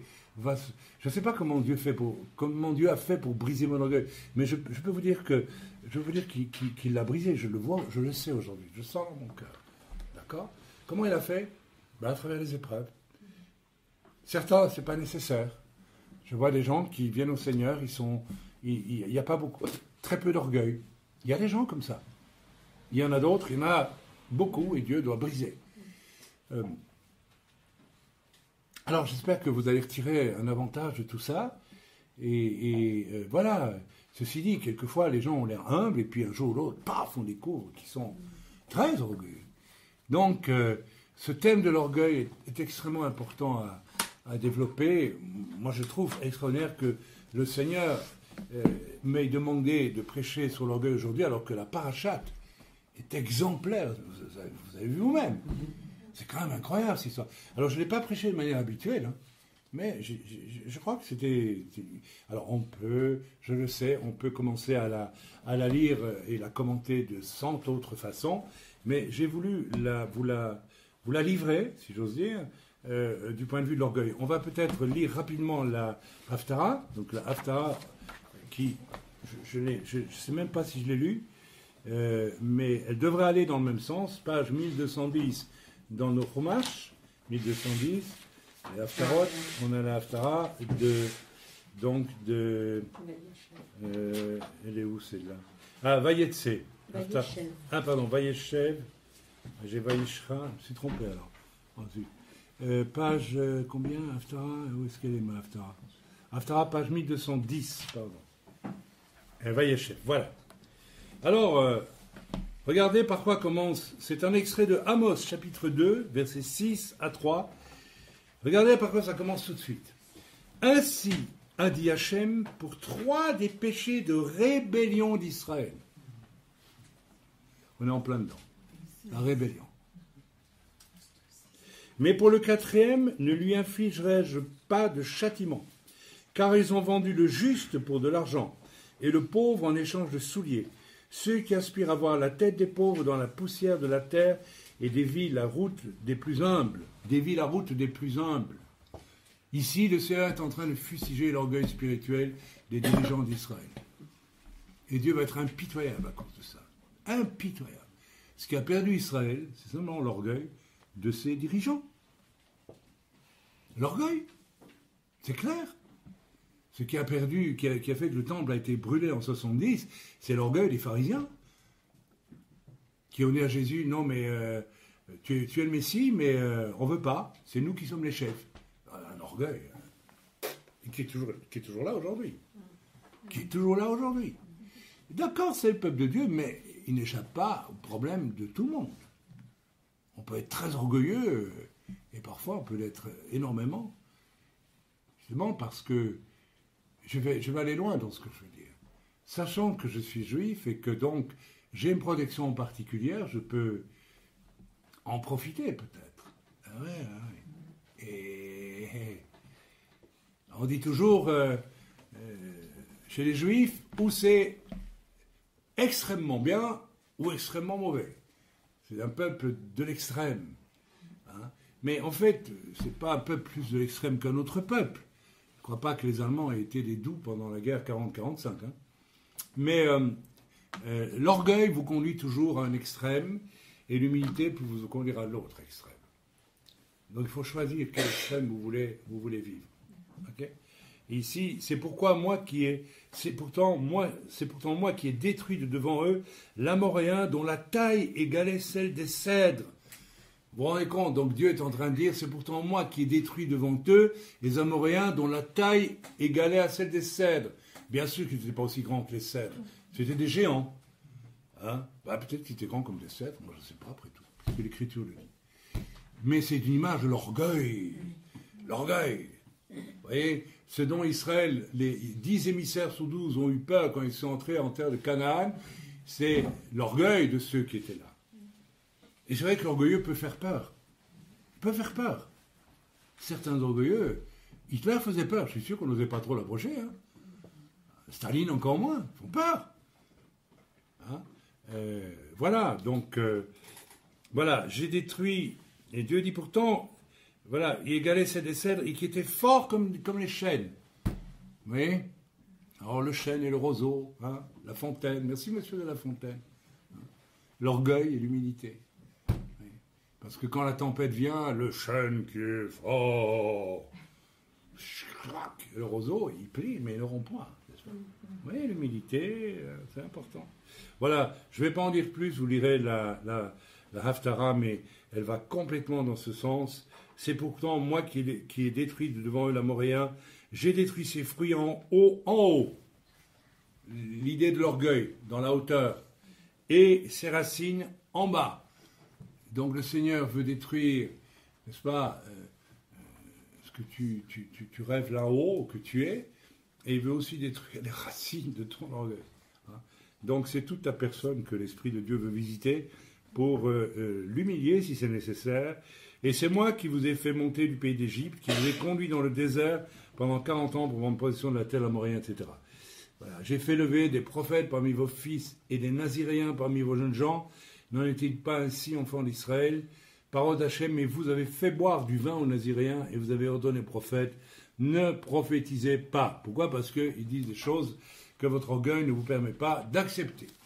C'est tout. Voilà, donc la paracha, mère admirable, et nous démontre que Dieu...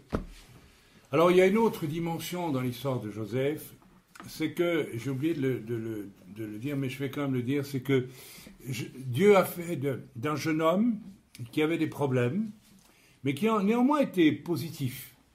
Hein et puisque Dieu lui donne des songes, Dieu sait qu'il va pouvoir un jour s'en servir. Et euh, il va s'en servir comment? Bien comme d'une image aussi de la patience et de l'amour. Voyez, ce jeune homme ébloui par sa vision, mon père, ma mère et mes frères se, se, plient devant moi, ça peut correspondre à vous avez vécu une expérience spirituelle forte à votre conversion, donc vous croyez que vous êtes arrivé. Mais non, vous n'êtes pas arrivé du tout. D'autant plus si Dieu vous, vous visite de manière puissante, moi ça a été mon cas à ma conversion, méfiez-vous. C'est peut-être un piège. Ah oui, oui, oui. Non, je vous assure, ce n'est pas un mauvais piège. Mais c'est, un, c'est à la fois de Dieu, mais attention, est-ce que vous êtes digne de, vivre ce que Dieu vous, vous, révèle? Quand Dieu vous donne une grande mission, une vision, etc. Vous savez, je n'ai vu des hommes de Dieu qui ont reçu une vision du Seigneur et qui n'arrivent pas au bout parce qu'en cours de route, ils s'enorgueillissent, ou, ils n'arrivent pas à comprendre que Dieu doit les briser, les briser, les briser, pour arriver à faire d'eux ce qu'il veut faire. C'est l'histoire de, de, de Moshe, de Moïse, prince d'Égypte. Qu'est-ce que Dieu a dû faire? Il a dû le dépouiller de A à Z pendant 40 ans, il ne lui restait rien. Rien, à tel point qu'il bégayait, il n'osait même plus parler. Alors quand il était prince d'Égypte, il devait avoir une éloquence formidable à la cour d'Égypte quand même. Il était fameux, on le sent dans l'Écriture. Mais Dieu va tellement le dépouiller qu'il... Et c'est comme Paul Il une éloquence formidable en tant qu'élève, rabbi, élève de Gamaliel. Et puis, soudain, ça devient Paul qui dit Je ne sais même pas quand je prêche si. Voilà. Qu'est-ce que Dieu a dû le briser pour en faire quelque chose? Donc c'est tellement important. C'est tellement important. Et il y a cette image aussi, au fur et à mesure du brisement, Dieu va développer chez Joseph la patience et l'amour aussi. Donc si Dieu veut t'humilier, c'est parce que tu ne sais pas aimer. Tu crois que tu aimes, mais tu n'as pas. C'est-à-dire que tu, as beaucoup d'amour pour toi-même. Le régime de l'orgueil qui vient du diable, c'est j'ai l'amour pour moi. Il suffit de voir comment tu réagis quand on te fait une remarque. Tu as un amour de toi, là. Oh là là, il va falloir que Dieu tape, là. Il va falloir que Dieu tape, il va falloir que Dieu t'humilie. Pour changer cet amour de toi en disponibilité vers l'autre. Mes amis, on- on- personne ne naît comme ça. On doit le devenir. Alors oui, on peut, on peut avoir un bon cœur, aimer les gens, vouloir faire du bien, mais ça peut venir de mon âme. Mais je parle d'autre chose, je parle d'un amour spirituel qui va me rendre esclave de Dieu et disponible pour les autres. Comme Joseph était esclave complètement. Vous voyez ce que je veux dire? Et, c'est une image pour ceux qui peut-être souffrent à côté de quelqu'un ou de quelqu'une d'orgueilleux. Eh bien, euh, priez pour celui-là. Et euh, peut-être que Dieu veut aussi vous, vous briser, vous, vous dépouiller à travers quelqu'un d'autre. Si vous saviez ce que Dieu m'a brisé à travers mon épouse, qui est tellement orgueilleux, vous le savez. hein. Vous pouvez rire, hein, vous avez le droit. D'accord, c'est peut-être plutôt, l'inverse probablement. Ben oui, bien sûr, et alors? Mais j'aime pas moi de le dire, vous savez. Absolument pas. Donc, euh, il y en a pour tout le monde là-dedans. Même celui qui est humble, ben, Dieu te dit, toi, je t'ai... Alors tu vas être comme Joseph pour ses frères. Vous croyez que quand Joseph a vu ses frères venir, euh, et il les a vus, ils étaient, ils étaient exactement comme ils étaient euh, des années auparavant. Hein. Ils étaient toujours aussi arrogants, aussi orgueilleux, aussi durs, etc. etc. hein. Donc, euh, voilà. Tu t'en vas, Jacob Ah oui. Bon, bien. Alors, Jacob s'en va, on l'embrasse. On vous embrasse tous. Bien, bien, je vais en rester là avec ce message. Sur l'orgueil, je pense qu'il y a du, du pain sur la planche. Il y a à se préparer à ce que Dieu peut-être m'humilie. Si je ne suis pas capable d'accepter ça, c'est que je ne suis pas né d'en haut, tout simplement. Celui qui est né d'en haut doit être prêt à ce que Dieu travaille rudement dans sa vie. Euh, ça aussi, c'est un signe de, nouvelle naissance et d'accepter l'école de Dieu qui sera différente pour chacun d'entre nous.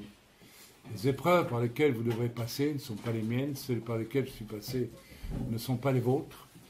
Et euh, ne regardez pas aux autres, laissez Dieu œuvrer dans votre vie comme il veut le faire et comme il doit le faire. Voilà. Je vous, euh, je vous, je vous laisse euh, avec ces paroles et voilà. Donc, euh, eh bien, soyez bénis. Amen. Et puis, commencez à prier et demandez au Seigneur peut-être là où il doit vous, vous interpeller, il doit vous changer. Amen.